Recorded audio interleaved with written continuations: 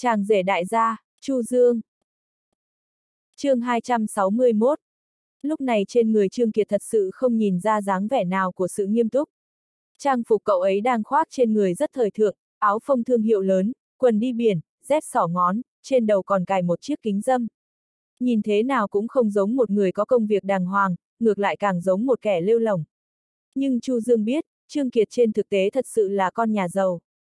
Gia đình cậu ấy ở Tương Tây cũng được coi là hảo môn, gia sản không nhiều nhưng tiền tỷ trở lên chắc chắn có. Vì vậy lúc học đại học, Trương Kiệt rất hào phóng, bạn học chơi thân với cậu ấy như Chu Dương, cũng hưởng được không ít lợi ích. Chẳng qua lúc đó, nghĩa khí anh em là trên hết, không ai để ý đến những chuyện đó. Mặc dù Chu Dương cảm thấy lần họp lớp này không được xem là trang trọng, nhưng thấy Trương Kiệt ăn mặc như vậy, vẫn không nhịn được mà trêu chọc một phen. Nhưng trêu chọc cũng chỉ là trêu chọc, 4 năm cùng học đại học lại thêm 3 năm chưa gặp nhau, cảm giác như đã rất lâu rồi, trong lòng cũng rất vui vẻ. Cũng không biết các bạn học khác trong lớp thế nào rồi. Trương Kiệt dẫn theo Chu Dương tiến vào sảnh vi trúc, đi qua chào hỏi hai bạn học nam và bạn học nữ, nhưng bọn họ cũng không phản ứng gì nhiều. Chỉ có Thảo Thảo là chào lại Chu Dương một tiếng, rồi sau đó lại bận rộn với việc của riêng mình. Sắc mặt Trương Kiệt có chút khó coi, Chu Dương cũng vậy. Chưa nói đến những thứ khác, mọi người cùng học với nhau 4 năm đại học lại thêm 3 năm chưa gặp, chẳng lẽ đến cả lời chào cũng miễn cưỡng vậy sao? Chu Dương nhớ rõ khi còn học đại học, anh cùng với hai bạn nam đó chơi với nhau cũng không đến nỗi tê. Thậm chí quan hệ với hai bạn nữ kia trước đây cũng khá tốt, mọi người còn thường xuyên nói chuyện giao lưu. Nhưng hiện tại lại giống như người dưng. À, có lẽ ba năm không gặp, mọi người có chút lạ lắm, lát nữa nói chuyện nhiều, mọi thứ sẽ lại như trước đây thôi.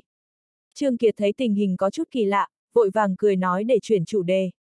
Trương Kiệt, chẳng phải cậu nói tôn đại thiếu gia cũng đến sao?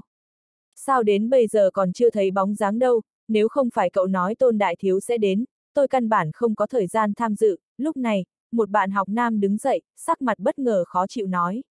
Chu Dương nhận ra người này, là Chu Hàng, người ở cạnh ký túc xá của anh trước đây, thường chơi bài cùng nhau, rất quen thuộc và lại mọi người còn là thành viên trong nhóm theo đuổi tạ Linh Ngọc lúc đó. Tuy nhiên, Chu Hàng sau đó muốn thi làm nhân viên công vụ, cũng dần ít liên hệ với Chu Dương hơn, không biết hiện nay như thế nào. Đối với tôn đại thiếu mà Chu Hàng đề cập đến, Chu Dương nheo mắt một lát, đã nhớ ra đối phương là ai. Tôn Tuấn Khải, học khoa nhất lúc đó. Ha ha, ai đang nhắc tới tôi vậy? Audio điện tử võ tấn bền. Chính lúc này, bên ngoài sảnh vi trúc vang lên một tiếng cười cởi mở. Chu Dương nhìn lên, thấy một nam thanh niên đang từ từ đi đến. Điều khiển cho Chu Dương kinh ngạc là sau lưng hắn ta còn có mười mấy người cùng bước vào.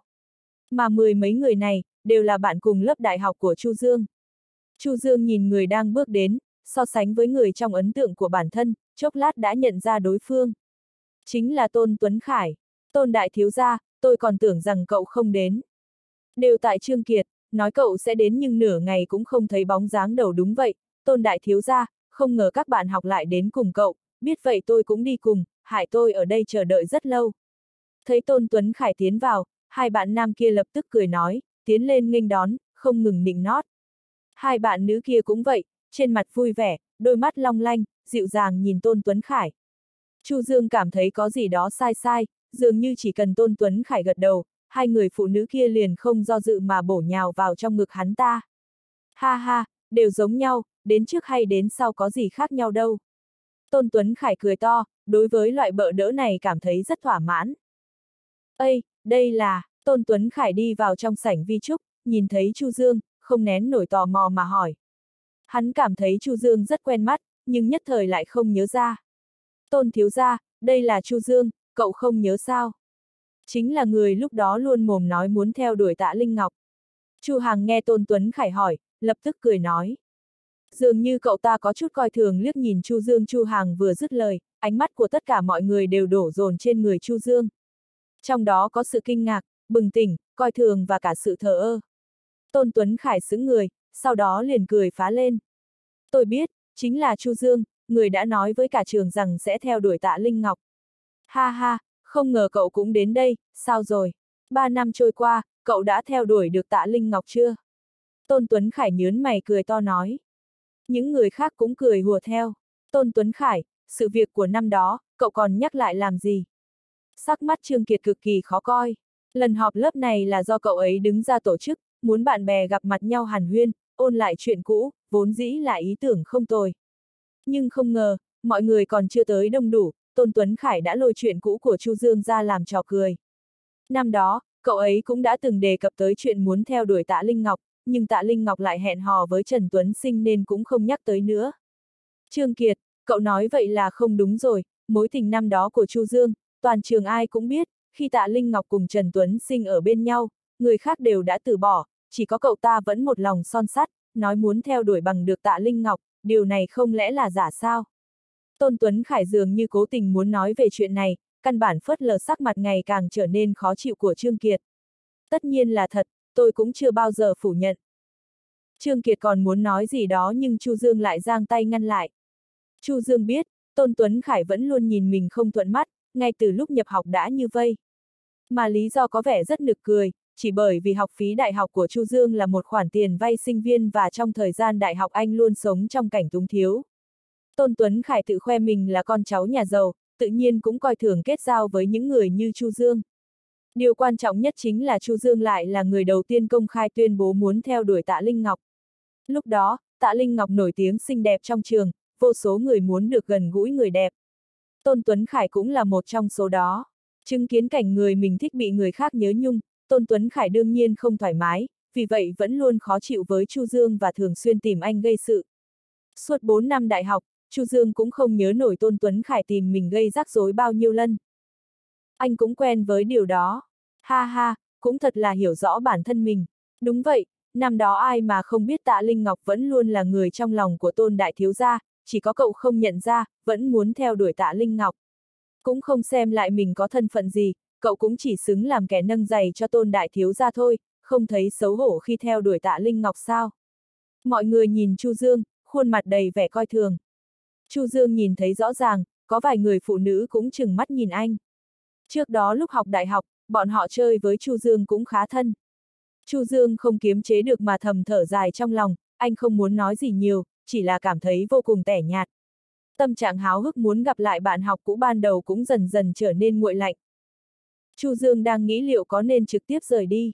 Đủ rồi, Tôn Tuấn Khải, đây là buổi lễ họp lớp, nếu như cậu có ý kiến, đợi đến lúc kết thúc rồi hãy nói. Không phải tất cả mọi người đều muốn xem cậu đem Chu Dương ra làm trò đùa đâu. chương 262 Trương Kiệt đang tức giận, cho dù có Tôn Tuấn Khải ở đây, mọi người cũng không tiện nói gì thêm.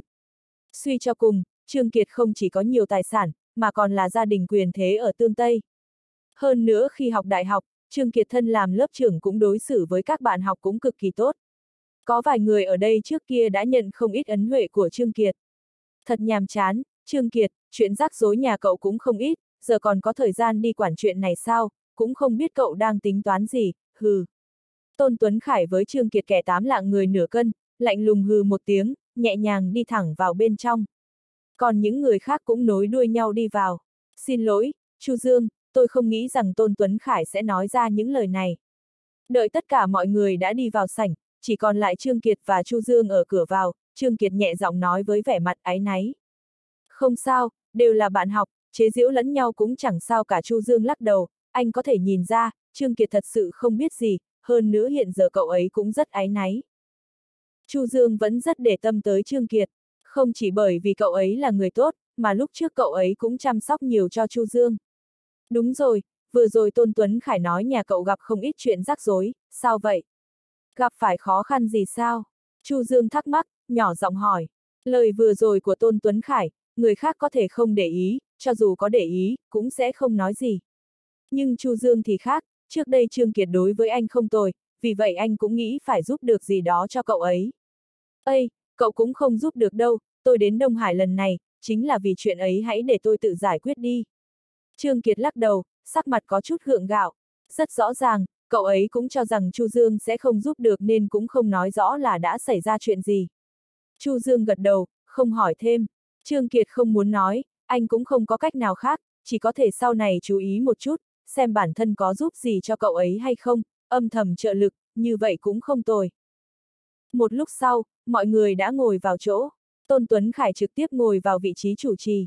Mặc dù là loại bàn tròn, thực tế căn bản không có thứ gọi là ghế đầu, nhưng nó vẫn được hình thành bởi mọi người. Ha ha, tôn đại thiếu gia ngồi ở vị trí chủ trì là điều đương nhiên. Đúng vậy, mọi người ngồi đây, làm gì có ai so sánh được với tôn đại thiếu gia chứ? Đúng vậy, tôi nghe nói giá trị gia sản của tôn đại thiếu gia không phải loại thường đâu nha. Ồ, vậy là bao nhiêu? Tôn đại thiếu gia, cậu mau giúp đỡ anh em đi chứ mười mấy người không ngừng nịnh nọt, Tôn Tuấn Khải vô cùng cao hứng.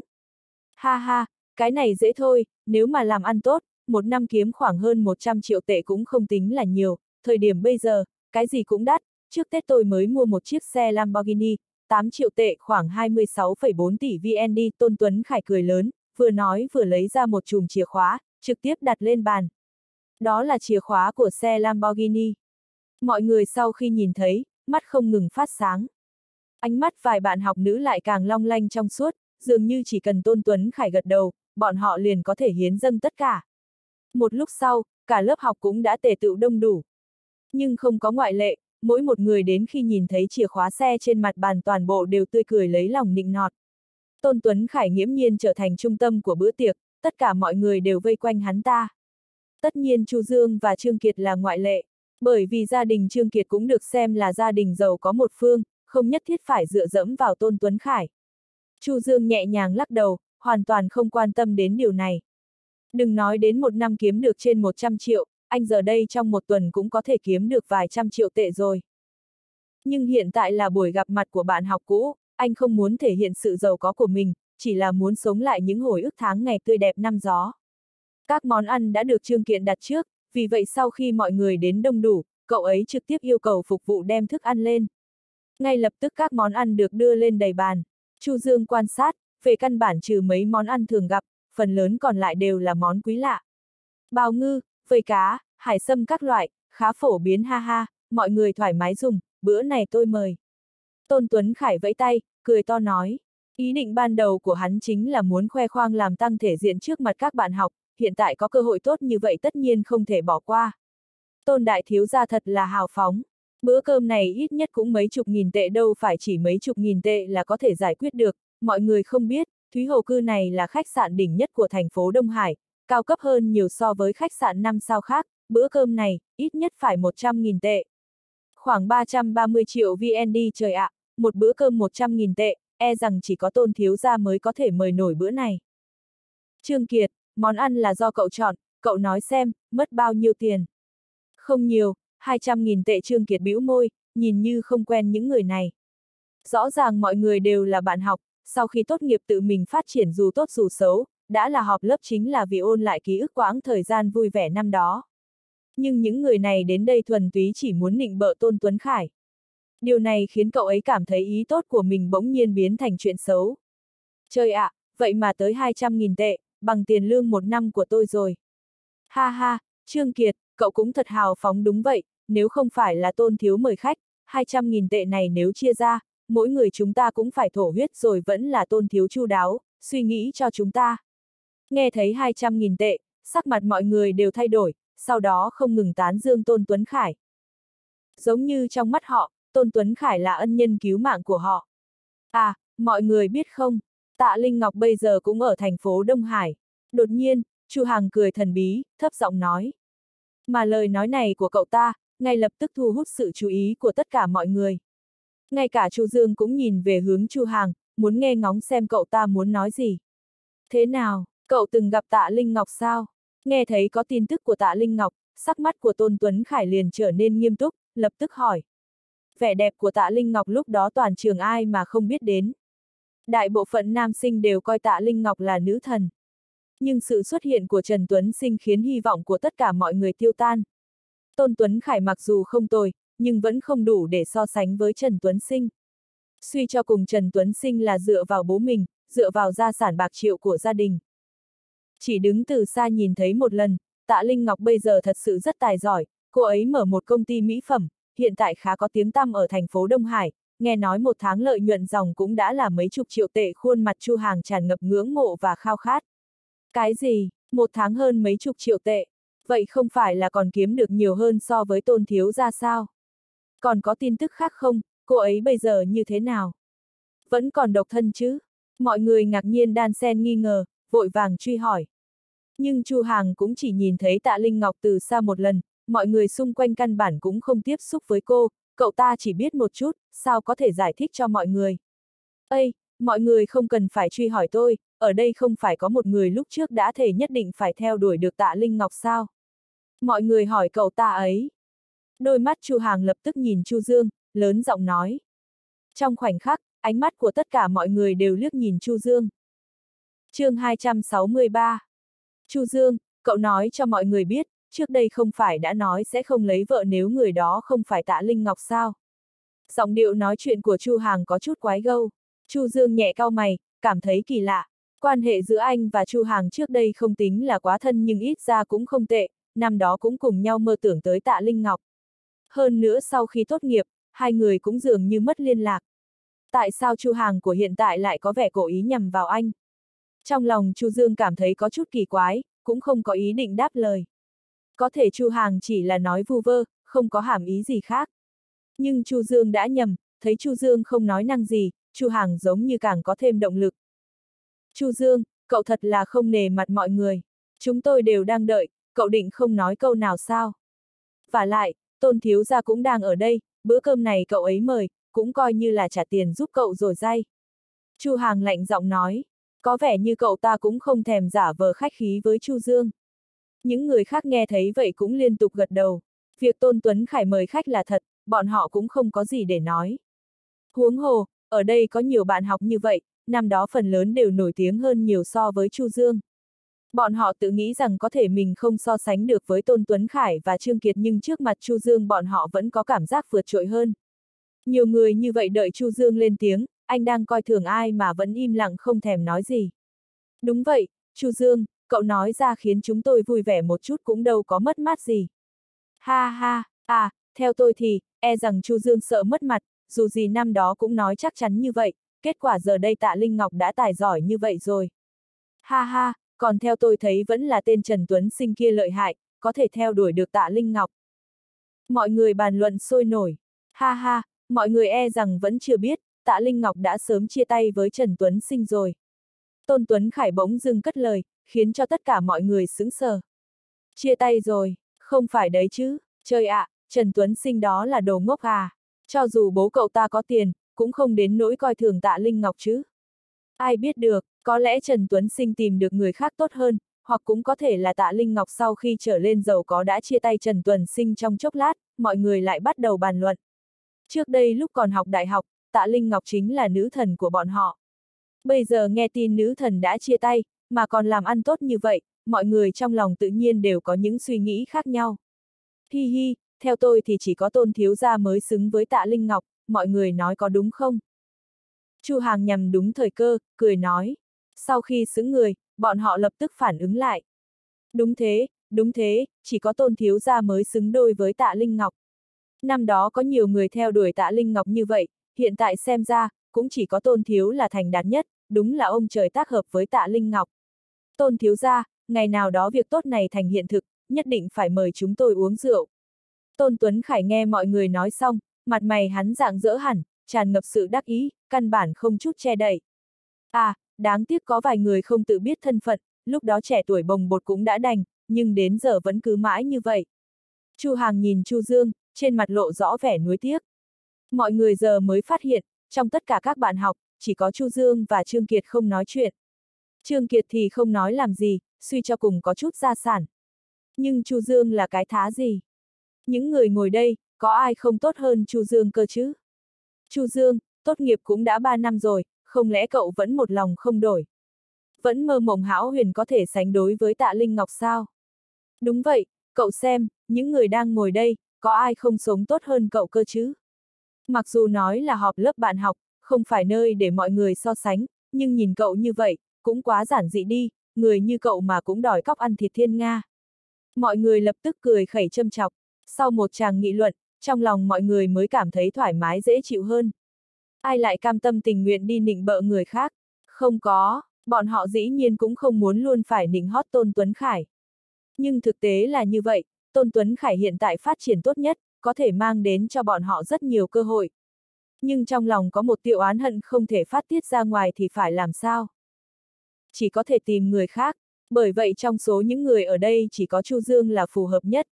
Hạ thấp anh dường như là suy nghĩ chung của mọi người, hơn nữa cũng sẽ không để lại hậu quả gì.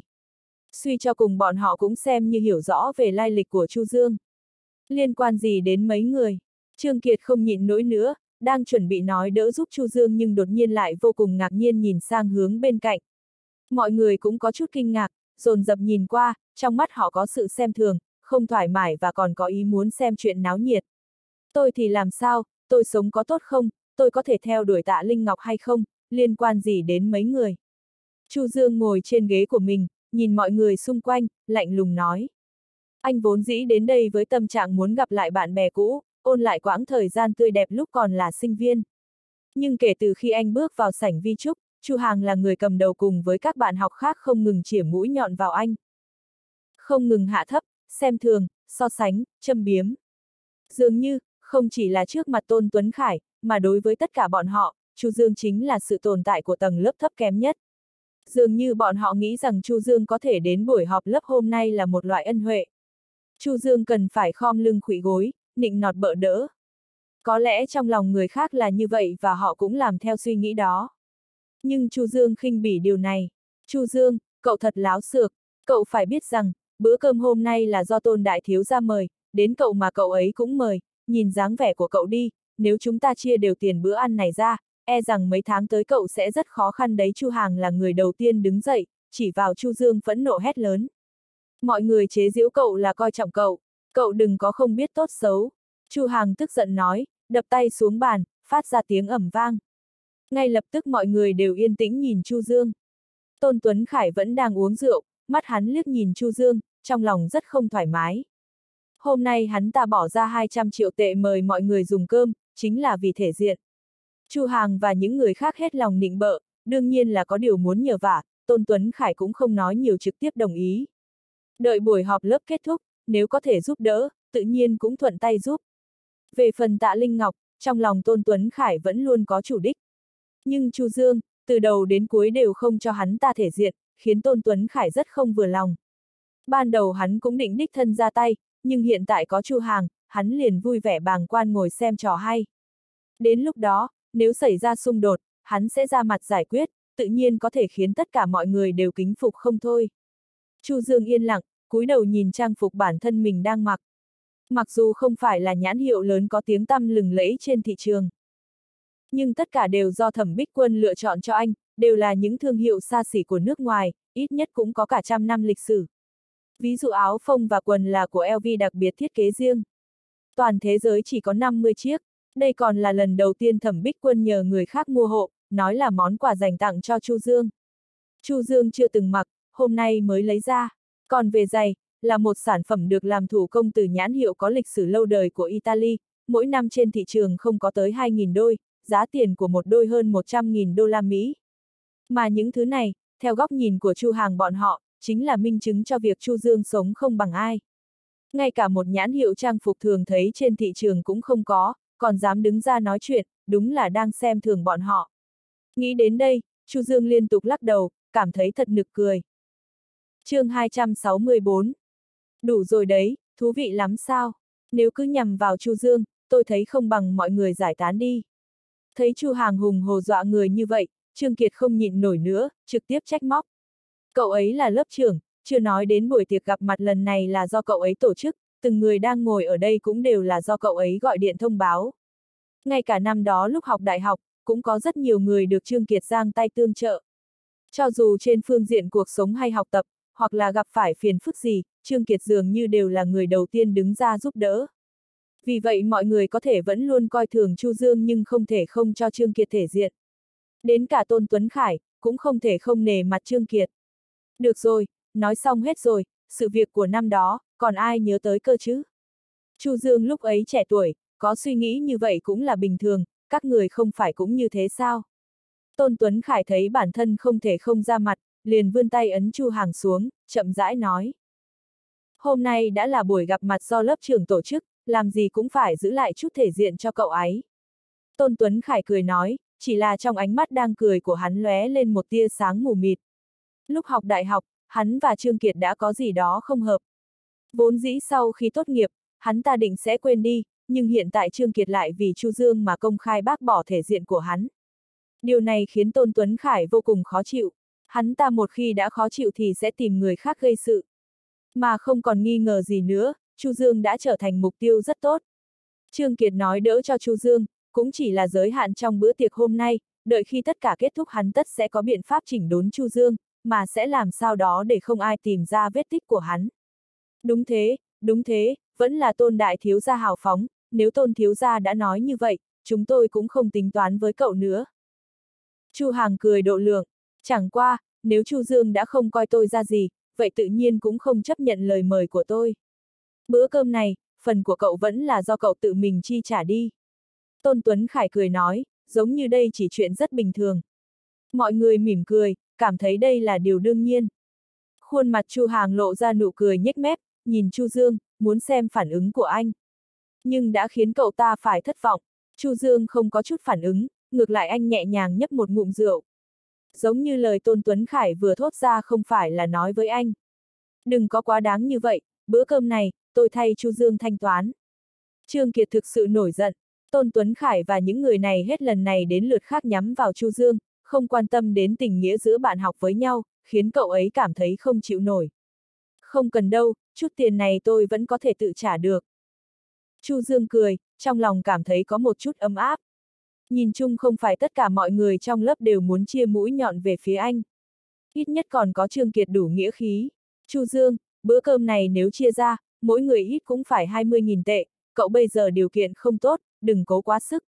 Khoảng 66 triệu VND Trương Kiệt ngồi xuống, nói thầm bên tại Chu Dương. Theo như cậu ấy thấy, trang phục Chu Dương đang mặc mặc dù trông có vẻ có chút chất lượng độc đáo nhưng không có nhãn hiệu lớn nào, liền tưởng rằng tiếp tục dùng rằng thực sự là không tốt. Sống chết muốn giữ thể diện, sau đó khiến cho cuộc sống của bản thân trở nên túng quẫn, Trương Kiệt không hy vọng Chu Dương làm như vậy. Hơn nữa trong mắt cậu ấy 20.000 tệ cũng không đáng là bao, một đêm ở ba cũng còn hơn thế. Nhưng lại có thể giúp Chu Dương sống tốt hơn trong vài tháng. Đây cũng là sự quan tâm của cậu ấy dành cho Chu Dương, người bạn học cũ của mình. Chu Dương khẽ lắc đầu, anh biết Trương Kiệt chính là người như vậy, lần này cứ coi như nhận lấy phần tình cảm này của cậu ấy. Nhưng trước đó nghe Tôn Tuấn Khải nói, gia đình Trương Kiệt dường như gặp phải chuyện khó khăn gì đó, nếu sau này có năng lực, anh sẽ giúp cậu ấy một tay, coi như báo đáp. Có Trương Kiệt ra mặt, mọi người mới dừng lại, tự mình dùng bữa. Dù sao một bữa ăn trị giá mấy trăm nghìn tệ, không phải ai cũng có thể trải nghiệm. Vài người có lẽ cả một đời cũng không được ăn một bữa cơm như vậy. Đã là Tôn Tuấn Khải mời khách, mọi người đương nhiên ăn uống thoải mái. Tình hình trở nên vui vẻ hơn, mọi người cũng không ngừng ăn uống, bầu không khí vô cùng náo nhiệt. Chỉ có Chu Dương vẫn luôn ở bên cạnh, im lặng nhìn tất cả. Náo nhiệt là của người khác, còn anh chỉ có trầm mặc.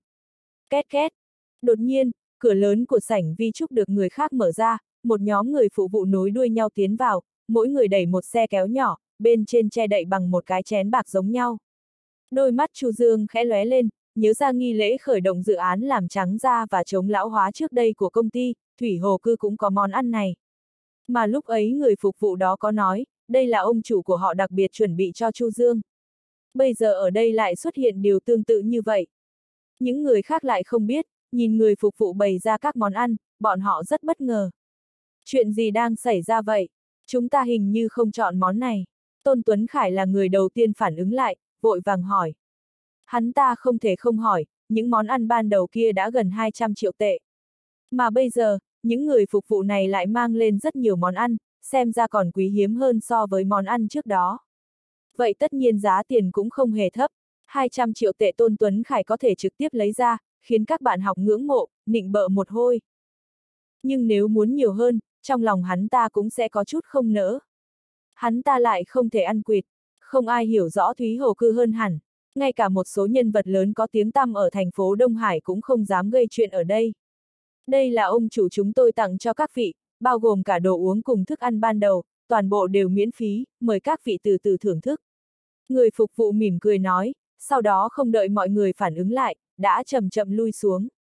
Trong chốc lát cả sảnh vi trúc đều yên tĩnh, mọi người không thể tin vào đôi tai mình, bọn họ vừa mới nghe được gì.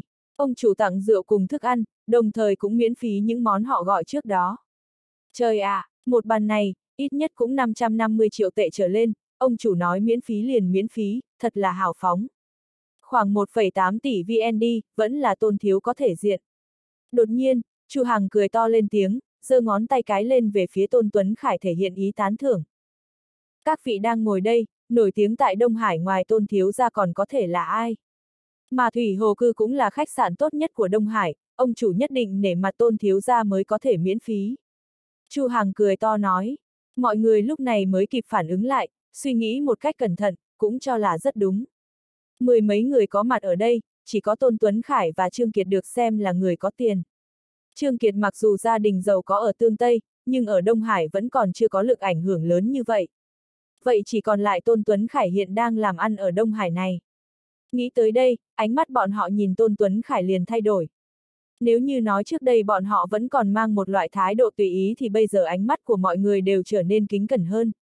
Đùa chăng, đây là Thủy Hồ Cự. Chỉ cần là người có kiến thức thì đều biết Thủy Hồ Cư không phải là một khách sạn đơn giản. Không có xếp hạng sao, nhưng còn cao cấp hơn nhiều so với những khách sạn năm sao khác. Tầng lớp thượng lưu của cả thành phố Đông Hải thường tụ hội ở đây. Thế mới biết được ông chủ phía sau khách sạn này có thế lực như thế nào. Nhưng hiện tại ông chủ của Thúy Hồ cư lại nề mặt Tôn Tuấn Khải, miễn phí cho bọn họ, điều này mà lan truyền ra ngoài, bọn họ nhất định sẽ rất được nề trọng chương 265 Ha ha, mọi người cứ ăn thoải mái đi, dù gì bữa ăn này cũng là miễn phí Tôn Tuấn Khải vô cùng kích động. Hắn dĩ nhiên sẽ không nói ra bản thân hắn căn bản không hề quen biết với ông chủ của Thủy Hồ Cư. Đối diện với loại tình huống này, hắn chỉ âm thầm nghĩ trong lòng, có lẽ là do thân phận của mình hấp dẫn sự chú ý của ông chủ đó, nên mới có việc tốt như vậy. Nghĩ đến đây, Tôn Tuấn Khải càng thêm hằng hải.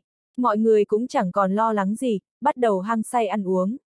Ha ha, tôi nhớ mới vừa rồi vẫn có người nói, bữa ăn này cậu ta tự thanh toán, không biết bây giờ định như thế nào. Đang lúc mọi người dùng bữa, ánh mắt Chu Hàng lại đột nhiên sáng quắc nhìn Chu Dương, diễu cợt nói. Trong khoảnh khắc, mọi người đều đổ dồn sự chú ý về phía Chu Dương. Dù sao Chu Dương cũng thật sự đã nói như vậy, nhưng hiện tại, ông chủ của Thúy Hồ cư lại nể mặt Tôn Tuấn Khải mà miễn phí cho bữa ăn này, vậy Chu Dương phải làm thế nào? Chu Hàng, rốt cuộc cậu là có ý gì? Tại sao cứ nhắm vào Chu Dương, cậu ấy có chỗ nào đắc tội với cậu sao? Trương Kiệt thực sự không chịu nổi nữa, đứng bật dậy, khuôn mặt âm trầm nhìn Chu Hàng. Cho dù là đồ ngốc lúc này cũng có thể nhìn ra, Chu Hàng vẫn luôn chia mũi nhọn vào Chu Dương.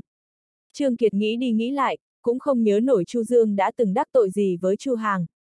Ha ha, lớp trưởng à, tôi với Chu Dương không thù không oán, chẳng có chuyện đắc tội hay không đắc tội, chỉ là tôi không quen khi nhìn thấy cậu ta làm ra vẻ giả tạo như vậy Chu Hàng cười hề hề đáp. Mọi người đã tốt nghiệp được 3 năm, mặc dù không liên lạc nhưng có ai là không biết rõ về nhau chứ. Năm đó Chu Dương cậu vẫn luôn thích khoác lác, suốt ngày nói sẽ theo đuổi bằng được tạ Linh Ngọc. Vừa rồi lại nói muốn tự mình thanh toán, lẽ cậu không thể thực tế được một chút sao? Chu Hàng khế bĩu môi nhìn Chu Dương, trong ánh mắt tràn ngập sự châm biếm.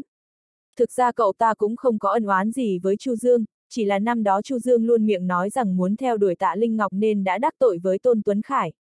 Mà Tôn Tuấn Khải hiện tại sự nghiệp phát triển rất tốt, Chu Hàng nghĩ muốn nhờ vả được hắn, bắt buộc phải có công trạng. Năm ấy lúc học đại học, Tôn Tuấn Khải có rất nhiều điều bất mãn với Chu Dương. Chu Hàng cảm thấy bản thân làm như vậy nhất định sẽ để lại ấn tượng sâu sắc trong lòng Tôn Tuấn Khải, vậy thì việc hắn tìm chỗ dựa sẽ dễ dàng thành công hơn. Hiện thực gì, Chu Hàng này nếu đã không quan tâm đến tình cảm bạn bè cũ, luôn nhằm vào Chu Dương, vậy anh cũng không cần phải nể mặt nữa.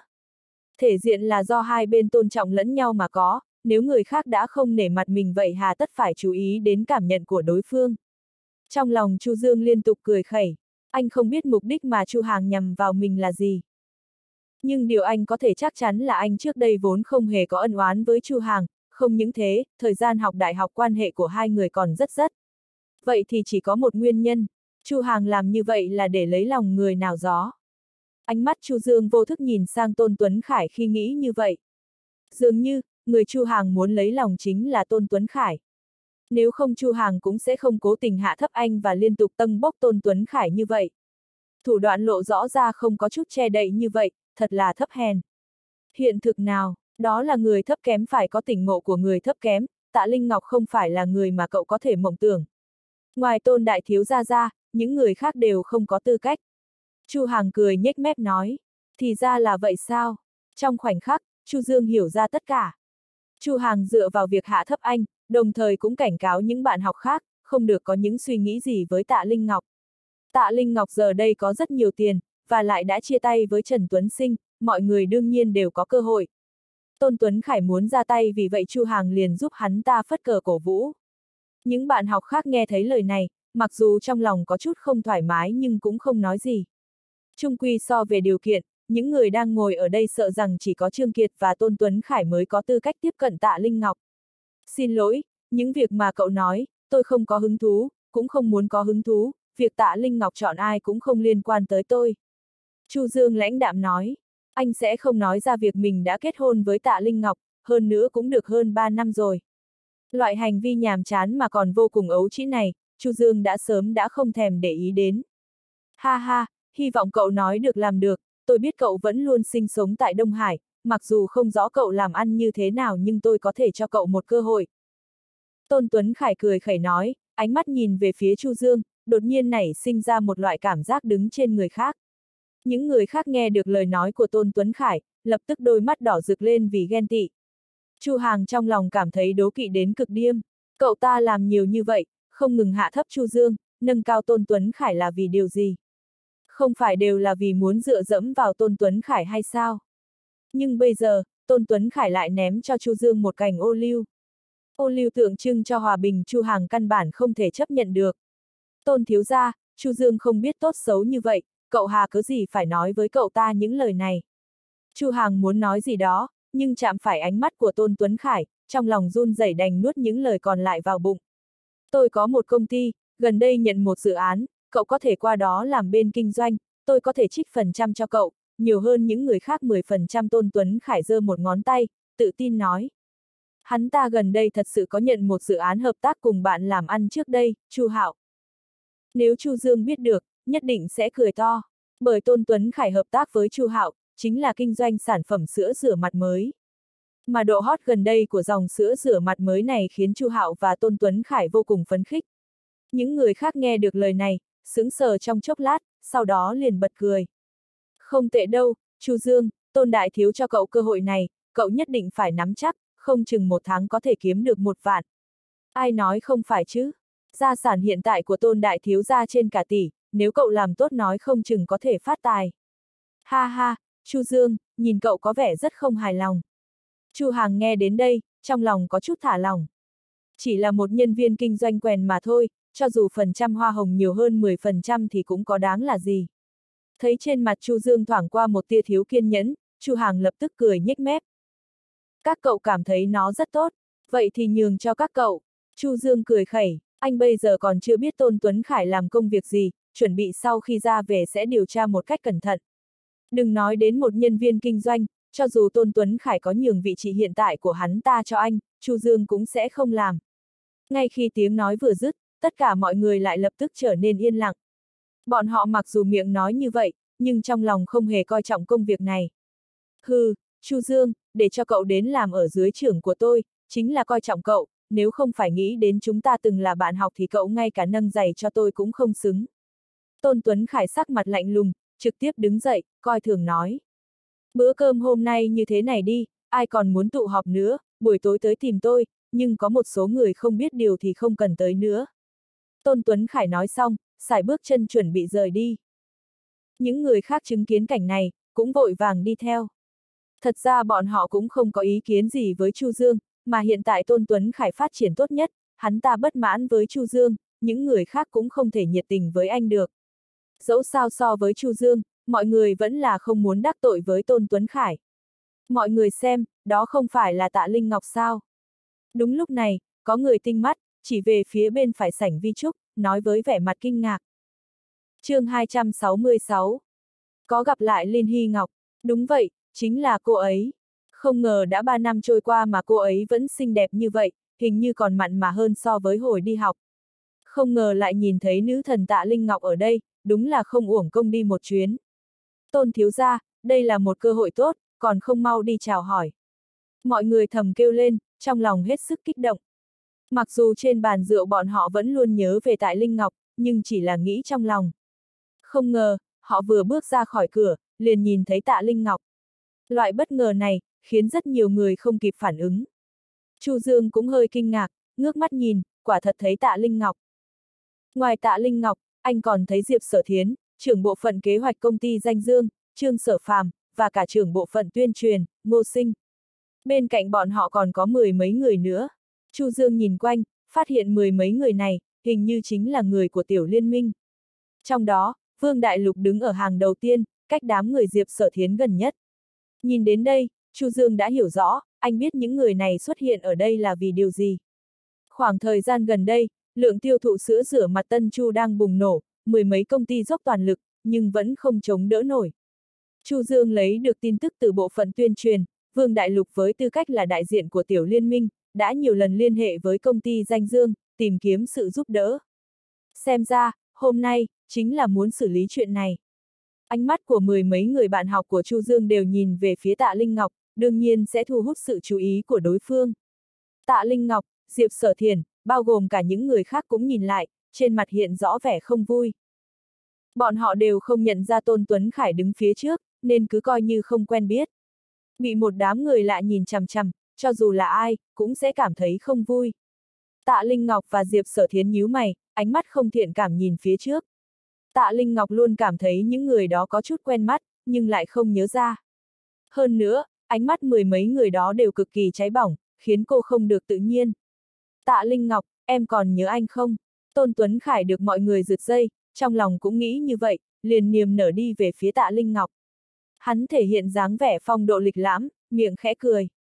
Lúc này, muốn nói không lo lắng là không thể. Đối mặt với nữ thần thời đại học, hơn nữa bây giờ còn thành đạt hơn mình nhiều, cho dù là Tôn Tuấn Khải thì lòng bàn tay cũng phải toát mồ hôi lạnh. Nhưng hắn chấn tĩnh lại rất nhanh, cho dù sau khi tốt nghiệp, tạ Linh Ngọc không còn nhớ mình nữa, nhưng chắc chắn sẽ có ấn tượng. Suy cho cùng, năm đó, lúc còn ở trường học, Tôn Tuấn Khải cũng là trùm trường. Anh là, tạ Linh Ngọc nhíu mày chặt hơn, đối mặt với dáng người hơi cao to của Tôn Tuấn Khải, cô bất chợt lùi về phía sau hai bước.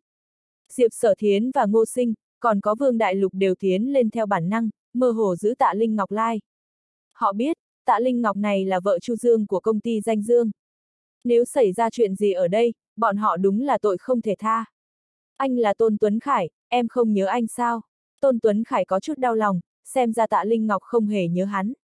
Tôn Tuấn Khải, trong lòng tạ Linh Ngọc thầm nhớ lại cái tên này, cứ cảm thấy có chút ấn tượng gì đó, nhưng lại không thể nhớ ra.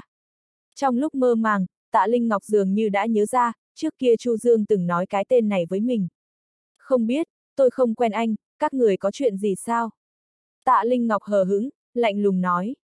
Đừng nói là cô thực sự không nhận ra Tôn Tuấn Khải gì đó, cho dù nhận ra, thì cũng chỉ là mối quan hệ xã giao, căn bản không cần phải nói chuyện. Sao cô có thể không quen Tôn Thiếu, năm đó lúc còn ở trường học, anh ấy từng theo đuổi cô, nếu không phải vì Trần Tuấn Sinh, thì cô đã ở bên Tôn Thiếu ra rồi. Tạ Linh Ngọc không định để ý đến Tôn Tuấn Khải, nhưng Chu Hàng đột nhiên lại bước ra từ trong đoàn người, nói với vẻ mặt bất bình. Hình như thái độ bây giờ của Tạ Linh Ngọc, giống như không tôn trọng Tôn Tuấn Khải. Vừa dứt lời, tất cả mọi người đều ngơ ngác, không chỉ là những người bạn học này, mà ngay cả những người phía sau Tạ Linh Ngọc cũng sửng sốt. Trước giờ họ chưa từng nghe thấy chuyện như vậy. Chu Hàng, sao cậu lại nói vậy? Năm đó tôi chỉ là vì mến mộ nữ thần thôi, còn chưa theo đuổi thành công nữa. Thật ra trong lòng Tôn Tuấn Khải mừng còn không hết, hắn không ngờ Chu Hàng lại giỏi ăn nói như vậy, liền nghĩ, chờ sau khi về, nhất định sẽ đưa Chu Hàng theo, bồi dưỡng cẩn thận. Còn dáng vẻ tạ Linh Ngọc bây giờ, nói không chừng những lời này rất nhanh sẽ bị truyền ra ngoài, tới lúc đó, ngoài Tôn Tuấn Khải ra, còn có ai bằng lòng chọn cô.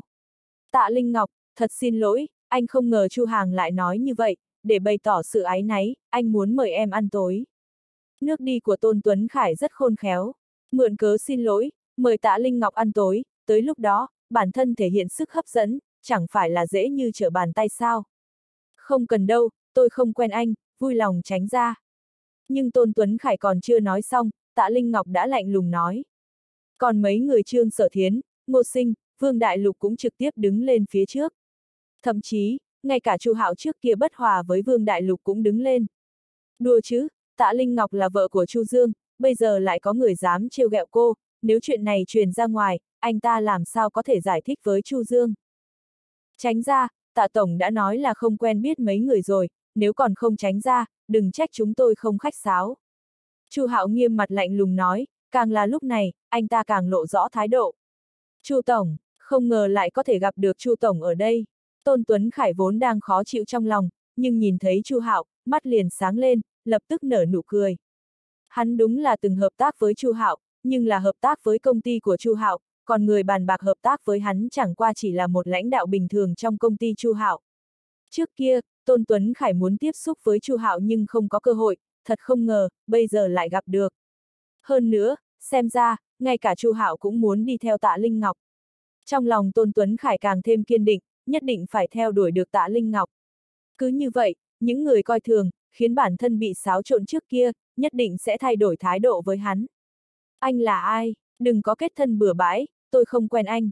Chu Hạo giật mình. Người trêu ghẹo vợ Chu Dương đột nhiên lại nói quen mình, nếu chuyện này truyền đến tại Chu Dương, bản thân có nhảy xuống sông Hoàng Hà cũng rửa không hết tội.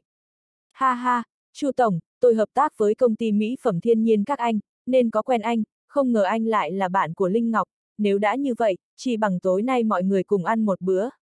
Tôn Tuấn Khải bất giác đổi xưng hô, thậm chí còn muốn kéo theo cả Chu Hạo. Anh sao vậy? Không thể nói bừa được, tạ tổng kết hôn rồi, nếu anh còn quấy nhiễu như vậy nữa thì đừng trách tôi ra tay. Lần này Chu Hạo thực sự bị dọa đến sợ hãi. Tôn Tuấn Khải này muốn chết, lại tính kéo theo anh ta. Đừng nói bọn họ không quen, cho dù có quen, bây giờ tiền tài của Chu Hạo vào như nước, một ngày hứng cả xô vàng, căn bản sẽ không từ bỏ cơ hội tốt như vậy mà làm ra loại chuyện này. Kết hôn rồi sao? Lần này, không chỉ sắc mặt Tôn Tuấn Khải thay đổi mà những người bạn học khác cũng vậy. Chẳng phải em và Trần Tuấn Sinh đã chia tay sao? Kết hôn lúc nào vậy? Tôn Tuấn Khải nhất thời kích động, cũng không bận tâm nhiều, trực tiếp giơ tay, muốn bắt lấy tay tạ Linh Ngọc hỏi cho ra nhẽ.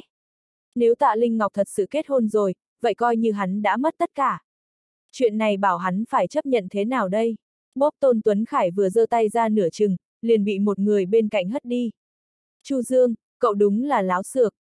chương 267 Tôn Tuấn Khải đưa tay về phía tạ Linh Ngọc, nhưng bị Chu Dương gắt gao đè lại, không thể động dây.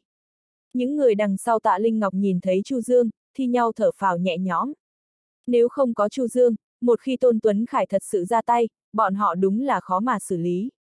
Còn những bạn học kia, ai ai cũng trợn mắt há hốc mồm. Bọn họ tưởng chừng như không dám tin vào mắt mình. Chu Dương lại dám ra tay ngăn cản Tôn Tuấn Khải. Phải biết rằng, Tôn Thiếu Gia chính là người mà ngay cả ông chủ của Thủy Hồ Cư cũng phải nể mặt, một câu nói cũng có thể khiến Chu Dương không lặn lộn được ở Đông Hải nữa. Chu Dương sao có thể dám? Lẽ nào chính là vì những ảo tưởng nực cười thời sinh viên? Một phần tám vì một tạ linh ngọc, mà không thèm đếm xỉa đến tiền đồ của bản thân, rõ ràng là ngu xuẩn. Mặc dù bạn học của anh biểu hiện như vậy, nhưng trong lòng mỗi người lại là những ý nghĩ khác. Nếu ra tay có thể có được thiện cảm, yêu ái của tạ Linh Ngọc, thậm chí còn có thể theo đuổi thành công, vậy đắc tội Tôn Tuấn Khải, cũng đáng. Chu Dương, cậu điên rồi. Ngay cả Tôn Thiếu gia cũng dám ngăn cản, mau cút ra. Chu Hàng nhất thời tức giận, lớn tiếng quát mắng Chu Dương. Hắn cảm thấy cơ hội của bản thân đã tới. Một Chu Dương nhỏ bé, lại dám thể hiện trước mặt Tôn Thiếu gia, rõ ràng là lấy trứng trọi đá.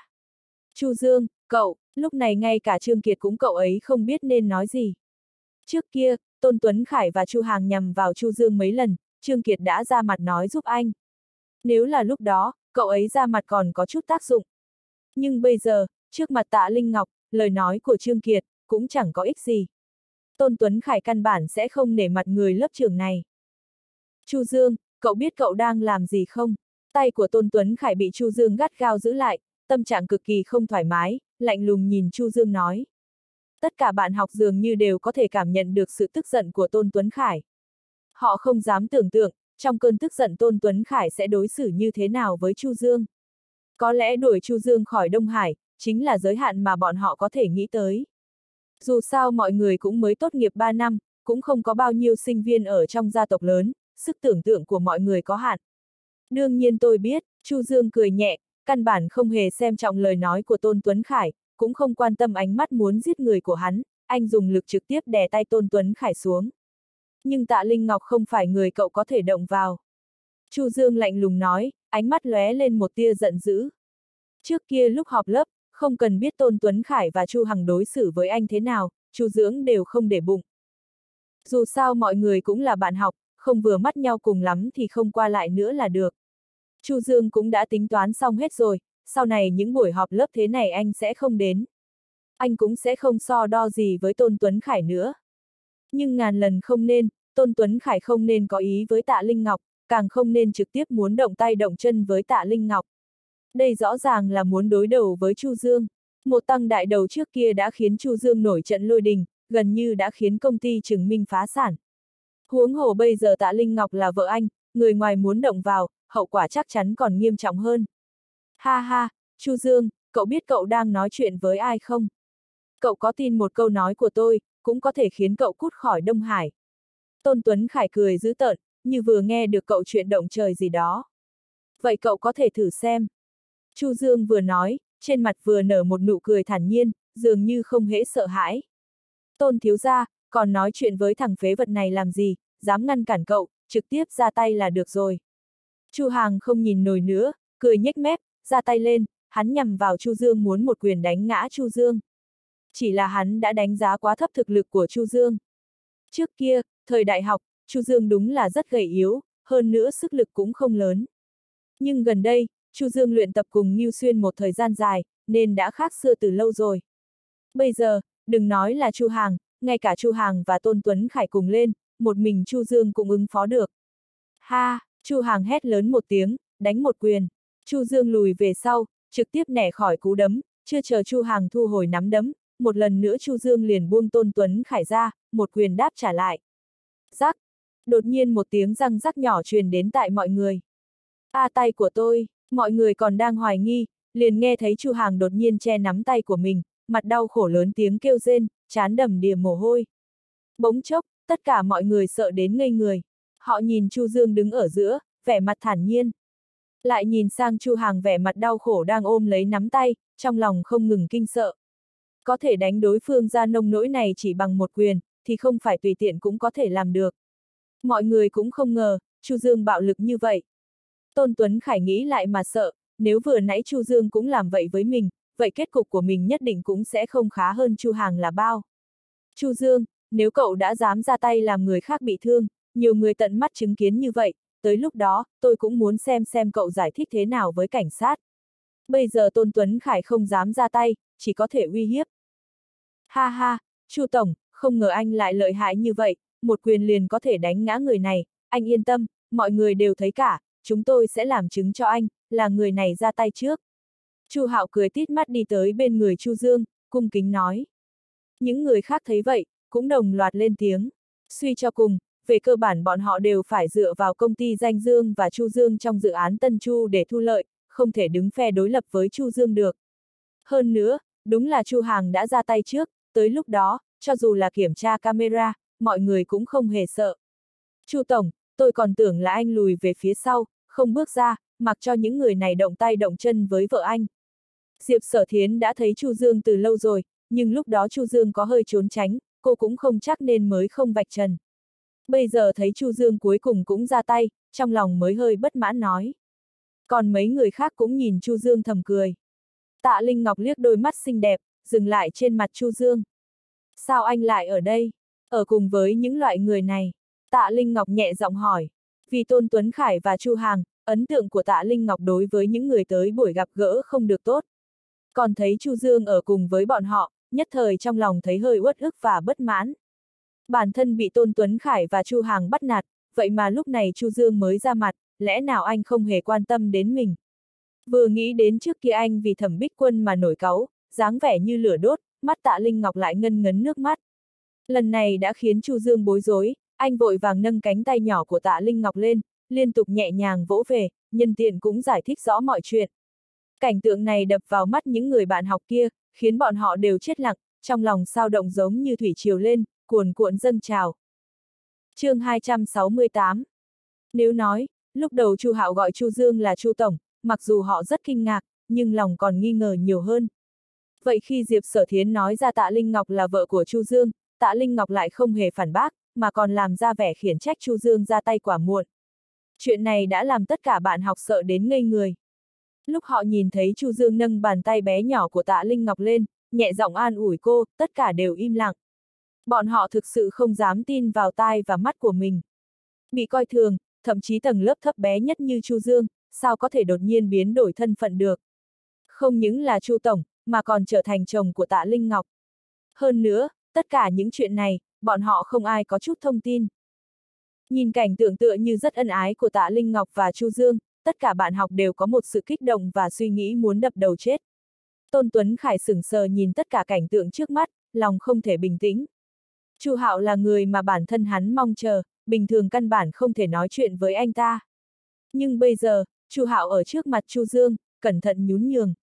Còn Tạ Linh Ngọc càng lại mặn nồng hơn với Chu Dương, trông thì giống như oán trách, nhưng thật ra là đang thể hiện mối quan hệ của hai người. Bọn họ ở bên nhau từ lúc nào? Trong lòng Tôn Tuấn Khải vừa ngạc nhiên vừa hoài nghi, sau khi tốt nghiệp hắn vẫn luôn lăn lộn ở Đông Hải. Nhưng trước giờ chưa từng nghe thấy tin này, bây giờ đột nhiên như vậy, khiến hắn sinh ra chút hoài nghi. Liệu có phải là vì tạ Linh Ngọc muốn thoát khỏi hắn nên mới hợp tác diễn xuất với Chu Dương? Dù sao, ở Đông Hải, Tôn Tuấn Khải cản bản chưa từng nghe tới cái tên này. Một người vô danh, tạ Linh Ngọc sao có thể để mắt tới. Chu Dương cậu đừng giả vờ nữa, cậu là người thế nào, tôi rõ nhất, muốn anh hùng cứu mỹ nhân, vậy cũng phải xem vào bản lĩnh của cậu đến đâu. Tôn Tuấn Khải lạnh lùng nói, hắn đã hết sức nhẫn nhịn rồi, nếu lúc này Chu Dương không dừng tay, hắn không dám bảo đảm bản thân sẽ không ra tay. Dường như, một quyền vừa nãy đã đánh lui chuyện của Chu Hàng, giống như chưa từng xảy ra. Ở đây có chỗ để cậu nói à? Cậu là ai? Chu Dương không mở lời, Chu Hạo tổng giám đốc công ty mỹ phẩm thiên nhiên liền quát mắng Tôn Tuấn Khải. Đùa chứ, giờ Chu Dương là chỗ dựa vững chắc của bọn họ, muốn phát tài thì phải dựa vào Chu Dương. Nếu Chu Dương xảy ra chuyện gì, hoặc anh không vui, vậy tất cả mọi người ở đây cũng không hưởng lợi được. Trước kia Chu Hạo từng chống đối Chu Dương, chỉ sợ Chu Dương quay lại tính sổ. Nhưng đã nửa tháng trôi qua, Chu Dương cũng không hề tìm anh ta tính sổ, khiến Chu Hạo thấp thỏm không yên. Bây giờ có một cơ hội tuyệt vời như vậy, anh ta đương nhiên phải nắm lấy. Chu Tổng, ý anh là sao, tên Chu Dương này đang giả vờ, cậu ta căn bản không hề quen tạ Linh Ngọc, anh đừng để hắn lừa Tôn Tuấn Khải nhìn thấy Chu Hạo nói đỡ cho Chu Dương, trong lòng kinh ngạc. Nhưng còn muốn giải thích rõ ràng hơn, Tôn Tuấn Khải kiên quyết cho rằng Chu Dương đang giả bộ, anh không thể thân quen với tạ Linh Ngọc, hơn nữa còn đã kết hôn. Chuyện như vậy, đừng nói hắn không biết, cả cái thành phố Đông Hải sao có thể không có được chút tin tức gì. Phải biết là, công ty bây giờ của tạ Linh Ngọc phát triển rất tốt, nếu cô kết hôn, nhất định có rất nhiều người tới tham dự. Nhưng trên thực tế, Tôn Tuấn Khải chưa từng nghe thấy có người nhắc tới. Tôi bị lừa rồi, cậu là cái thá gì, mà dám nói chuyện với tôi như vậy. Chu Hạo thật sự tức giận, cái người trước mắt này, trước kia luôn miệng nói từng hợp tác với công ty của mình, nhưng bản thân lại không hề quen hắn. Bây giờ, lại năm lần bảy lượt nói xấu Chu Dương. Nếu Chu Dương thật sự truy cứu, hỏi anh ta tại sao lại hợp tác với người như vậy, Chu Hạo căn bản không thể trả lời được. Bốp, Chu Hạo cực kỳ tức giận, giáng một cái tát mạnh, trực tiếp in lên mặt Tôn Tuấn Khải một vết đỏ ửng. Ngay lập tức mọi người đều sửng sốt, ánh mắt bọn họ ngơ ngác nhìn Chu Hạo, lại nhìn sang Tôn Tuấn Khải, tất cả đều trở nên yên lặng. Câu nói vừa nãy của Tôn Tuấn Khải, mọi người đều nghe thấy hết. Các bạn học cũng tưởng rằng Chu Dương đang giả vờ, nên không nói gì thêm, mà chỉ lặng lẽ nhìn Tôn Tuấn Khải. Nhưng bây giờ, ngay cả Tôn Tuấn Khải cũng có chút nịnh bợ đối phương, lại dám trực tiếp đứng ra tát Tôn Tuấn Khải một cái. Hơn nữa lại là ở trước mặt nhiều người như vậy, chuyện này chắc chắn sẽ nhanh chóng truyền ra ngoài. Vậy chẳng phải là sẽ không có thời gian xoay chuyển sao? Nhất thời, các bạn học nghĩ không thông, rõ ràng là Tôn Tuấn Khải muốn vạch trần Chu Dương. Trừ phi, dần dần, một ý nghĩ hoang đường từ từ nảy ra trong đầu những bạn học. Mọi người nhìn nhau, lập tức liền nhìn chằm chằm Chu Dương. Mà lúc này, Chu Dương đang kéo tay tạ Linh Ngọc, đặt trước ngực mình, không chỉ vậy, anh còn ôm vai tạ Linh Ngọc, hai bên dựa vào nhau rất gần. Bộ dạng này, giả vờ chỗ nào chứ, rõ ràng là có tình cảm thật sự, đây là hình ảnh mà chỉ có ở vợ chồng mới xuất hiện. Chu Dương và tạ Linh Ngọc thật sự đã ở bên nhau. Cho dù họ không phải là vợ chồng, thì ít nhất cũng là đôi tình nhân mặn nồng. Vậy, theo như lời hai bên, tất cả đều là sự thật. Người này tát tôn thiếu ra một cái, không phải là vì cái gì khác, mà là vì chút giận cho Chu Dương, thậm chí là vì thanh minh về mối quan hệ giữa mình và Tôn Tuấn Khải. Hi, tất cả các bạn học thở dài. Mọi người nhìn Chu Dương một cách khó hiểu, con người chuyển động, dường như đang nghĩ gì đó. Đây có còn là Chu Dương mà họ từng quen không? Tại sao chỉ có 3 năm không gặp, anh liền thay đổi tới long trời lở đất như vậy? Nhưng nhìn dáng vẻ này của Chu Dương, lại không giống bản thân có bao nhiêu bản lĩnh. Lẽ nào là nhờ anh bấu víu lấy tạ Linh Ngọc, ăn bám nên mới leo lên được địa vị này? Nếu để Chu Dương biết trong lòng bạn anh nghĩ gì, e là anh sẽ mọi não của bọn họ ra, xem xét bên trong rốt cuộc là thứ gì. Ăn bám, trước giờ Chu Dương chẳng thèm ăn bám, cứ coi như là vừa kết hôn 3 năm, anh ở rể ở tạ gia, nhưng vẫn luôn cố gắng làm việc. Nếu không, cho dù có cầm được tiền đi chăng nữa, cũng không thể có được vị trí người phụ trách dự án sản phẩm làm trắng da và chống lão hóa. Nhóc con, tôi vừa nghe thấy cậu nói từng hợp tác với công ty của tôi. Tôi không biết cậu hợp tác với ai trong công ty của tôi, nhưng bắt đầu từ bây giờ, sự hợp tác này đã chấm dứt. Chu Hạo Quang cho Tôn Tuấn Khải một cái tát vẫn chưa đã, lại tàn bạo cắt đứt mối quan hệ hợp tác của hai bên. Dù sao cái người mà ngay cả tạo ấn tượng cho anh ta cũng không làm được, vậy thì loại hợp tác này có cũng như không. Mà đối mặt với cục diện có thể sẽ đắc tội với Chu Dương, Chu Hạo nghĩ rất rõ ràng. Tôn Tuấn Khải ôm mặt, đang chuẩn bị đánh trả, nhưng nghe thấy câu này, cuối cùng cũng hoảng sợ. Nếu nói mọi thứ trước kia, cho dù là một cái tát lúc nãy, tất cả cũng đều là sự chuẩn bị trước của Chu Dương. Nhưng lần hợp tác cuối cùng này, không phải chỉ là mấy trăm nghìn tệ, mấy triệu tệ là có thể giải quyết được. Phải biết, trước kia Tôn Tuấn Khải hợp tác với Mỹ phẩm thiên nhiên, lợi nhuận một năm sắp xỉ gần 100 triệu tệ. Lợi nhuận mà Mỹ phẩm thiên nhiên có được còn vượt trên 300 triệu tệ Chu Hạo không thể vì diễn kịch mà không cần 300 triệu tệ này. chương 269 Chu Tổng, tôi vốn không hề quen cậu ta, chờ sau khi về, tôi nhất định sẽ điều tra rõ ràng, tìm ra người hợp tác với cậu ta, đuổi ra ngoài. Chu Hạo cười nói bước nhanh tới bên Chu Dương, trong lời nói tràn đầy ý nịnh bợ. Người xung quanh Chu Dương, cũng không hề cười nhạo anh ta. Mọi người đều là thành viên của tiểu liên minh, trong khoảng thời gian này, lợi ích từ dự án Tân Chu nhiều hơn so với mấy tháng trước, thậm chí lợi ích một năm còn hậu hĩnh hơn. Mỹ phẩm thiên nhiên của Chu Hạo, vì quy mô lớn, thực lực mạnh, nên đương nhiên ngay từ đầu sẽ chiếm thế thượng phong, trong hạng mục này, lợi ích đạt được cũng là lớn nhất. Gặp phải tình huống này, không cần suy nghĩ, đừng nói là Chu Hạo, người khác cũng sẽ không mạo hiểm mà đắc tội Chu Dương. Ừm, chuyện này anh xem rồi giải quyết là được. Chu Dương gật đầu, coi như đã chấp nhận lời giải thích của Chu Hạo. Dù sao, hai bên vốn cũng chẳng có chuyện gì to tát, nếu Chu Hạo đã bày tỏ thái độ, Chu Dương đương nhiên cũng sẽ không so đo từng tí một. Đúng rồi, hôm nay các người tụ họp cùng nhau làm gì vậy? Xảy ra chuyện gì sao? Chu Dương hỏi, mắt nhìn những người khác. Vì khoảng thời gian này, dự án mới phát triển rất tốt, chúng tôi đều thu được rất nhiều lợi nhuận, vậy nên liên hợp lại, mời trợ lý Diệp, trưởng phòng trương, trưởng phòng ngô ăn cơm, tiện thể muốn mở rộng thị trường, nên cũng gọi tạ tổng tới cùng. Chu Hạo cười nói, Chu Dương nhìn tạ Linh Ngọc, thấy cô gật đầu, liền biết Chu Hạo nói đúng, nên cũng không truy cứu nữa. Nếu đối phương muốn hợp tác, sau đó cấu kết với người của công ty Danh Dương, cùng ham muốn lợi ích vốn thuộc về công ty Danh Dương, vậy Chu Dương đương nhiên sẽ không nương tay. Chu Tổng, anh không thể như vậy. Tôi hợp tác với công ty anh rất tốt, công ty các anh một năm có thể kiếm được cả mấy trăm triệu, sao anh có thể như vậy? Lẽ nào anh không sợ tôi sẽ hợp tác với công ty khác, cùng nhau chèn ép anh? Thấy Chu Dương cười cười nói nói với người khác, đương nhiên trong lòng sẽ tồn tại cảm giác như vậy. Lúc này Tôn Tuấn Khải cũng kịp phản ứng, vội vàng đi tới trước mặt Chu Dương lớn tiếng nói. Mọi người nghe xong, mới thầm giật mình. Công ty mỹ phẩm thiên nhiên của Chu Hạo trả trách thực lực mạnh, chỉ một đối tác bình thường cũng có thể đem đến cho công ty nhiều lợi nhuận như vậy. Còn những bạn học kia thì bị mấy trăm triệu dọa cho ngây người. Lập tức, ánh mắt họ nhìn Chu Hạo liền thay đổi. Một đối tác một năm có thể đem đến cho anh ta cả mấy tỷ lợi nhuận, đều trực tiếp biến mất. Vậy có nghĩa là, mấy trăm triệu này, anh ta không hề để ý đến. Mà Chu Hạo bây giờ, lại lấy lòng Chu Dương. Điều này chứng tỏ cái gì, trong lòng mọi người đều rõ. Chứng tỏ lợi nhuận mà Chu Dương đem lại cho Chu Hạo vượt xa Tôn Tuấn Khải. So sánh hai bên, Chu Hạo đương nhiên sẽ vứt bỏ Tôn Tuấn Khải mà lấy lòng Chu Dương. Ánh mắt các bạn học dần thay đổi, tâm trạng cũng thay đổi theo. Không ngờ Chu Dương lại lăn lộn giỏi, thế mà vừa nãy bản thân còn muốn thanh toán giúp anh.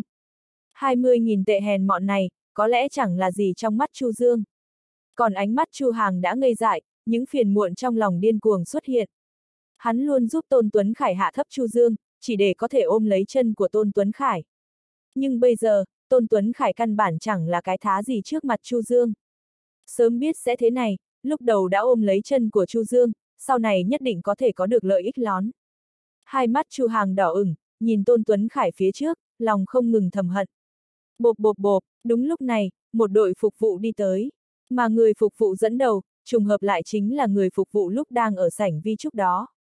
Tất cả ánh mắt của bạn học đều đồn về phía người phục vụ, lòng mơ hồ đoán ra mục đích mà anh ta xuất hiện. Chu tiên sinh, ông chủ bảo chúng tôi hỏi anh, bữa cơm hôm nay ăn có ngon không? Phục vụ đi đến trước mặt Chu Dương, hơi khom mình chào, sau đó cung kính hỏi. Một lát sau, các bạn học đều nhao nhao lên. Quả thật là vậy, ông chủ của Thủy Hồ Cư, vốn không phải nể mặt Tôn Tuấn Khải mới tặng đồ ăn, hơn nữa còn miễn phí. Mà là vì nể mặt Chu Dương. Vừa nghĩ tới lúc mọi người chế nhạo Chu Dương trên bàn rượu, rất nhiều người đều lặng lẽ cúi đầu, lòng không ngừng hối hận. Còn những người lúc đó không hạ thấp Chu Dương cũng bất đắc dĩ lắc đầu. Dù họ không hề chế nhạo Chu Dương, nhưng khi Chu Dương đối mặt với sự công kích của người khác, họ lại không hề ra mặt. Cả một nhóm người chỉ có một người đứng ra nói giúp Chu Dương. Mọi người đồng thời nhìn sang Trương Kiệt đang ngày người ở bên cạnh. Tất cả bạn học, chỉ có Trương Kiệt nói giúp Chu Dương, hơn nữa còn là mấy lần, không sợ chọc giận Tôn Tuấn Khải. Lần này, Chu Dương chắc chắn sẽ nhớ kỹ phần ân tình này, nói không chừng còn cảm ơn Trương Kiệt tử tế. Mọi người không biết Chu Dương sẽ cảm ơn thế nào, chỉ có thể thầm đoán, sắc mặt ảm đạm. Rất ngon, tôi rất hài lòng, thay tôi cảm ơn ông chủ các anh, hôm khác nhất định sẽ tới cửa chào hoi. Chu Dương gật đầu, cười nói, ông chủ của Thủy Hổ Cư, Chu Dương không hề quen biết, cũng chưa từng gặp. Nhưng cộng thêm cả lần này, ông chủ Thúy Hồ Cư đã nể mặt Chu Dương hai lần rồi. Nếu Chu Dương không biết, còn dễ nói, nhưng biết rồi mà vẫn không trả lời vậy chính là kiêu căng. Tôi nhất định sẽ chuyển lời người phục vụ lên tiếng sau đó liền xoay người rời di. Những người khác cũng nhìn Chu Dương, các bạn học đã đoán ra nên trong mắt chỉ là sự hiếu kỳ. Thế nhưng trong lòng những người của tiểu liên minh kia lại cực kỳ kinh ngạc. Ông chủ của Thúy Hồ cư máu mặt thế nào, bọn họ cũng biết, đó chính là danh tiếng lẫy lừng cùng câu lạc bộ Silver Lake. Mà ông chủ của Thủy Hồ Cư, nghe nói còn thần bí, năng lực cũng lớn hơn câu lạc bộ Silver Lake của Trần Thế Hào. Nhưng bây giờ, ông chủ của Thủy Hồ Cư lại nể mặt Chu Dương, không chỉ tặng đồ ăn, mà còn miễn phí. Cái mọi người kinh ngạc không phải là món quà này, họ không thiếu chút tiền đồ ăn này. Quan trọng là, ông chủ Thủy Hồ Cư là vì Chu Dương mà sẵn lòng làm như vậy. Ha ha, không ngờ Chu Tổng lại quen ông chủ của Thủy Hồ Cư Chu Hạo cảm thán một tiếng, vẻ mặt càng trang nghiêm kính trọng hơn. Những người khác cũng vậy. Được rồi, các người có chuyện gì thì tiếp tục bàn đi, không cần để ý tới tôi. Chu Dương gật đầu, nhẹ giọng nói. Chu Tổng, anh hãy ở cùng chúng tôi đi, tôi còn có rất nhiều vấn đề muốn anh chỉ bảo. Vương Đại Lục đứng lên nói, vẻ mặt thành khẩn. Chu Dương lưỡng lự một lát rồi gật đầu đồng ý, anh cũng muốn biết, tiểu liên minh có vấn đề gì, nếu có thể góp sức thì còn gì bằng, dù sao đối với công ty danh dương, chỉ có lợi chứ không có hại. Trương Kiệt, tối tôi lại tìm cậu, tạm thời cậu đừng rời Đông Hải. Đi được nửa đường, Chu Dương đột nhiên xoay người, cười với Trương Kiệt. Còn ánh mắt của những bạn học kia bỗng chốc liền chuyển hướng sang Trương Kiệt, tràn đầy sự ngưỡng mộ. chương 270 Chu Dương nói xong, liền đi theo đám người tạ Linh Ngọc lên lầu. Bên ngoài sảnh vi trúc chỉ còn lại những người bạn học tới đây tụ họp. Giờ phút này, Trương Kiệt đã trở thành trung tâm của mọi người vượt qua Tôn Tuấn Khải. Lớp trưởng cũ, tôi vừa nhìn là biết cậu không bình thường, sau này phải dìu dắt đám bạn cũ này đấy nhé. Đúng vậy, không ngờ Chu Dương lại giỏi thế, ngay cả ông chủ của Thúy Hồ Cư cũng phải nề mặt, quan hệ của lớp trưởng cũ và Chu Dương tốt như vậy, nói không chừng sau này cũng có thể quen cả ông chủ của Thủy Hồ Cư. Hai, không ngờ chúng ta lại nhìn lầm, Chu Dương cũng khiêm tốn quá rồi. Khiêm tốn một chút cũng tốt, không lớn giọng như ai đó, kết quả lại bị ăn một cái tát vào mặt, may mà chúng ta không dính vào hắn, không cần tốn tiền, không ngờ đều là hưởng hào quang của Chu Dương. Mọi người vây quanh Trương Kiệt, không ngừng nịnh nọt, thậm chí trong lời nói, không hề che giấu bắt đầu chế giễu Tôn Tuấn Khải. Chuyện lúc nãy, họ đã đều thấy, Tôn Tuấn Khải dựa vào ông chủ lớn mà sống, lớn tiếng nói muốn cắt đứt hợp tác. Không có tầng quan hệ này, Tôn Tuấn Khải cũng không hơn không kém. Chu Dương mới là người có thân phận, nếu có thể tạo quan hệ với Chu Dương, vậy thì giàu to rồi. Tiếc là vừa nãy bọn họ có hơi quá đáng với Chu Dương, giờ không dám đi tới nói chuyện với Chu Dương nữa. Mà cả lớp, chỉ có cậu bạn lớp trưởng cũ Trương Kiệt này có thể nói chuyện với Chu Dương. Lúc này, Tôn Tuấn Khải ở bên ngoài vòng người sắc mặt u ám như nước, ánh mắt tràn đầy căm giận. Còn Chu Hàng lại đứng cạnh hắn, mắt đờ đẫn, sắc mặt mang chút dữ tợn. Những lời nói của những bạn học khác lúc này giống như một con dao hung hăng đâm vào Chu Hàng. Nhớ năm đó, quan hệ của Chu Hàng và Chu Dương cũng không tệ.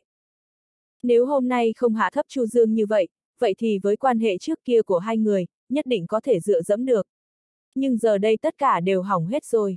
Đều tại cậu, là cậu hại tôi, tôi phải giết cậu. Đột nhiên, Chu Hàng giống như bị điên, giơ tay bóp chặt cổ Tôn Tuấn Khải, lớn tiếng gào thét. Tôn Tuấn Khải không kịp trở tay, không kịp phản ứng, cũng không kịp ngăn cản. Những người khác cũng bị cảnh tượng này làm cho hết hồn. Chờ đến lúc nhìn thấy Chu Hàng nắm lấy cổ Tôn Tuấn Khải, còn Tôn Tuấn Khải thì đang khó thở, hai tay khua loạn xạ, họ mới ý thức được Chu Hàng làm thật, liền nháo nhào tiến lên, chuẩn bị kéo hai người ra.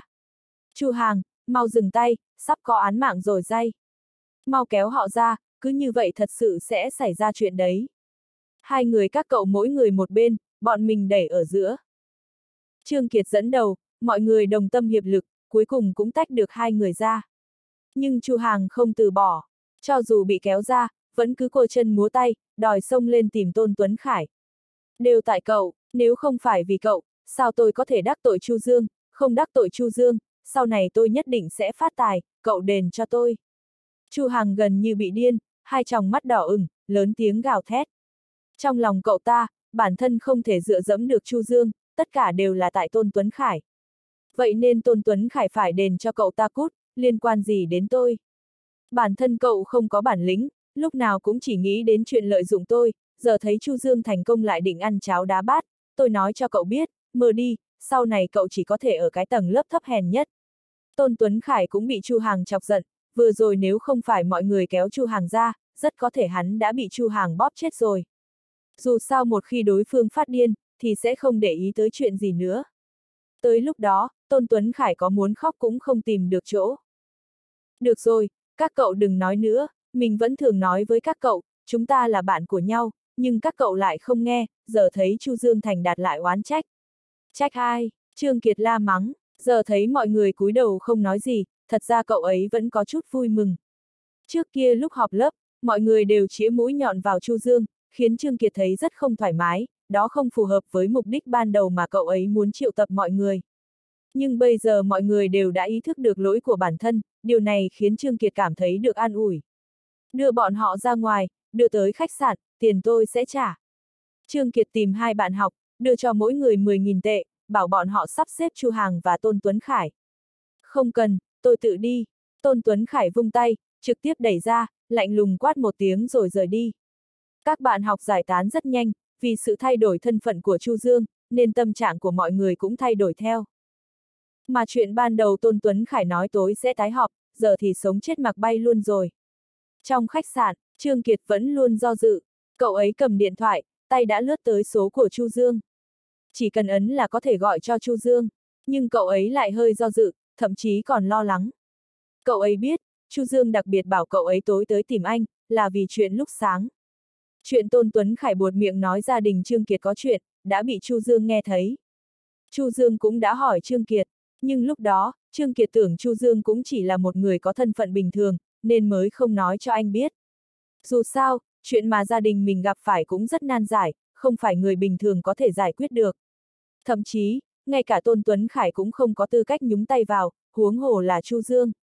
Nhưng bây giờ, sau khi biết thân phận của Chu Dương, Trương Kiệt lại thấy hơi lo lắng. Chu Dương liệu có phải chỉ là thuận miệng nói, thực chất không hề có ý ra tay giúp đỡ? Hoặc là, có thể có, nhưng sau khi biết sự thật thì sẽ giơ tay rút lui. Chỉ có điều, vừa nghĩ đến tình hình gia đình mình, nếu không nắm chắc cơ hội này Trương Kiệt không biết còn có thể tìm đâu ra người có thể giúp mình nữa. Chưa đợi Trương Kiệt gọi điện thoại, Chu Dương đã gọi tới. Sau khi hai bên nối máy, Trương Kiệt liền đi tới câu lạc bộ Silver Lake. Cậu ấy thầm kinh ngạc, ông chủ của Thủy Hồ Cư nề mặt Chu Dương đã khiến cậu ấy ngạc nhiên lắm rồi. Mà giọng điệu lúc nãy của Chu Dương, cứ như là rất thân quen với ông chủ của câu lạc bộ Silver Lake vậy. Lòng kìm nén sự hoài nghi, trong chốc lát Trương Kiệt đã tới câu lạc bộ Silver Lake. Vì Chu Dương dặn dò trước, nên Trương Kiệt vừa tới liền được người đưa tới văn phòng tầng 2. Trong văn phòng lúc đó, ngoài Chu Dương còn có Trần Thế Hào. Cậu tới rồi à, tôi còn tưởng cậu rời Đông Hải rồi. Thấy Trương Kiệt tới, Chu Dương nhiệt tình hỏi thăm. Đây là Trần Thế Hào, ông chủ câu lạc bộ Silver Lake. Đây là lớp trưởng cũ của tôi hồi đại học, trước kia rất chiếu cố tôi. Chu Dương giới thiệu hai người với nhau. Trần Thế Hảo nhìn Trương Kiệt, âm thầm gật đầu. Còn Trương Kiệt lại sốc nặng. Trên đường tới đây, đã đoán trước là Chu Dương có quen ông chủ của câu lạc bộ Silver Lake, nhưng cũng chỉ vậy thôi, không ngờ tới Trần Thế Hào lại nhiệt tình như vậy, hơn nữa trông có vẻ như tất cả đều là vì Chu Dương. Nhất thời, một nghi hoặc lớn hiện lên trong lòng Trương Kiệt. Thân phận của Chu Dương rốt cuộc là gì? Ở đây không có người ngoài, bây giờ cậu có thể nói rồi, chuyện hồi sáng mà Tôn Tuấn Khải nói, gia đình cậu có chuyện, đó là chuyện gì? Chu Dương ngồi xuống rồi mới trầm giọng hỏi. chương 271 Trong phòng làm việc Chu Dương ở tầng 2 câu lạc bộ Silver Lake. Lúc này, bốn bể yên tĩnh, Trương Kiệt không ngừng hút thuốc, tinh thần ảm đạm, ánh mắt trống rỗng. Trần Thế Hào bắt chéo chân, thong thả ngồi không nhìn Trương Kiệt, cũng chẳng nhìn Chu Dương. Chỉ có Chu Dương lúc này đang cau mày, rõ ràng là đang suy nghĩ gì đó. Vừa rồi, Trương Kiệt nói về chuyện mà gia đình cậu ấy đang gặp phải. Chu Dương cũng nghe rất chăm chú, nghe xong liền thấy sự việc không hề đơn giản như vậy. Trương gia nhà Trương Kiệt ở Tương Tây cũng được xem là một nhà giàu có. Địa vị cũng tương đương Tô gia ở Đông Hải. Tuy rằng không phải là gia tộc thượng lưu, nhưng cũng là gia tộc danh giá, những gia tộc khác không dám động vào. Mà đây cũng là lần đầu tiên Chu Dương biết gia cảnh của Trương Kiệt, trước kia khi học đại học, Trương Kiệt tuy rất hào phóng, mọi được đều biết cậu ấy rất giàu có, nhưng không ai biết gia cảnh cụ thể ra sao. Trương Kiệt nói, gia đình cậu ấy ở tương Tây khai thác bạc, chế tạo và kinh doanh. Có thể xem là trong nhà có mỏ bạc, Chu Dương âm thầm gật đầu, có thể nói trong ngành này, chắc chắn là gia đình có nền tảng, có ít mưu mô thủ đoạn. Nếu không, những việc như khai thác mỏ bạc thì người bình thường không thể làm được.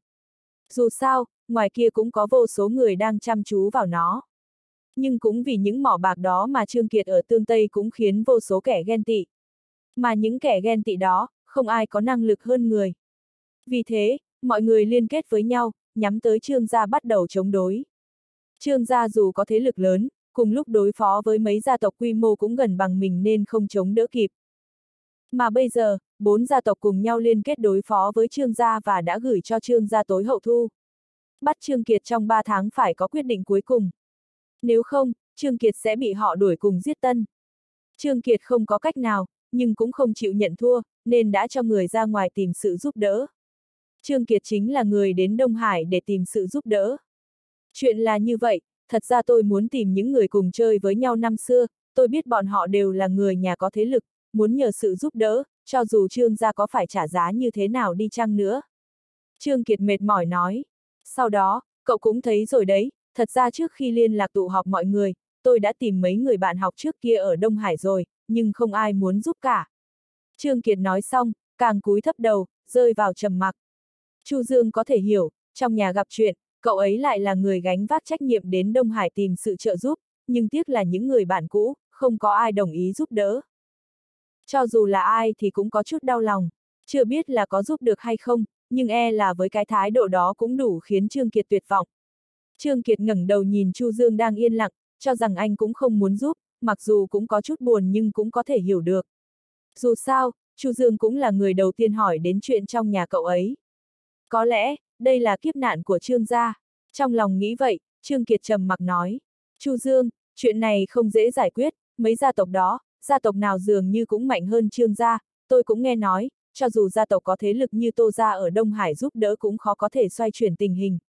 Trương Kiệt thực sự có chút chán nản, thất vọng. Sau khi đến Đông Hải, cậu ấy càng nghe ngóng được tình hình một số gia tộc lớn ở Đông Hải.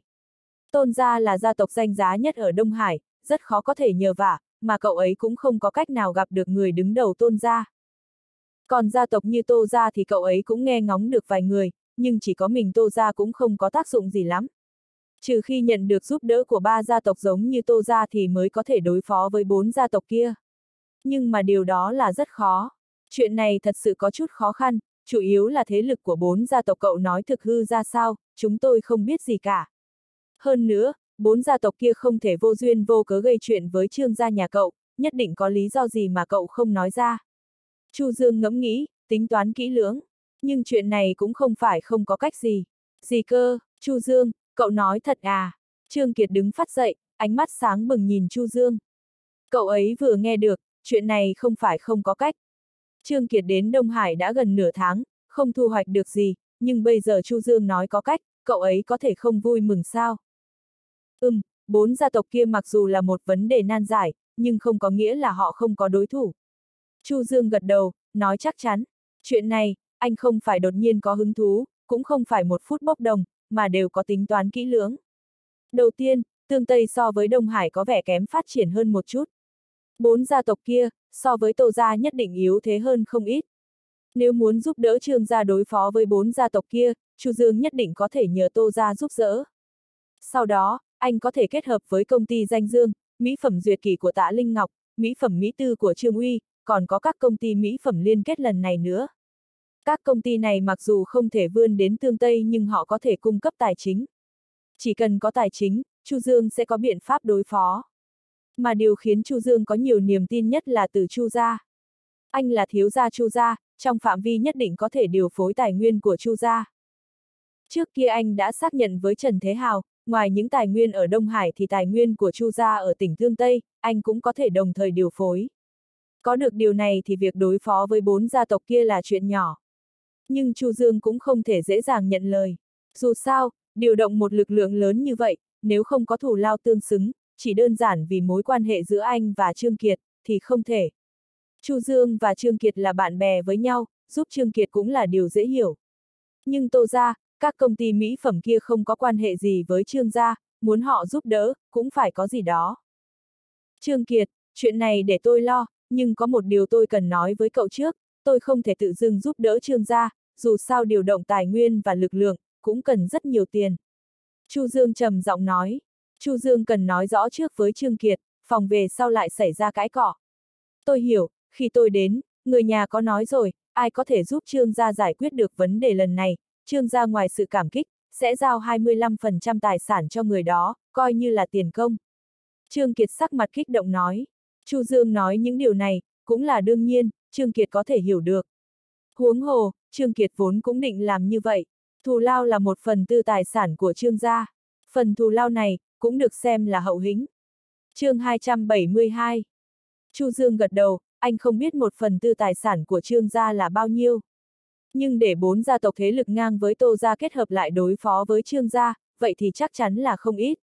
Ít nhất một mỏ bạc cũng đủ khiến người khác ghen tị rồi.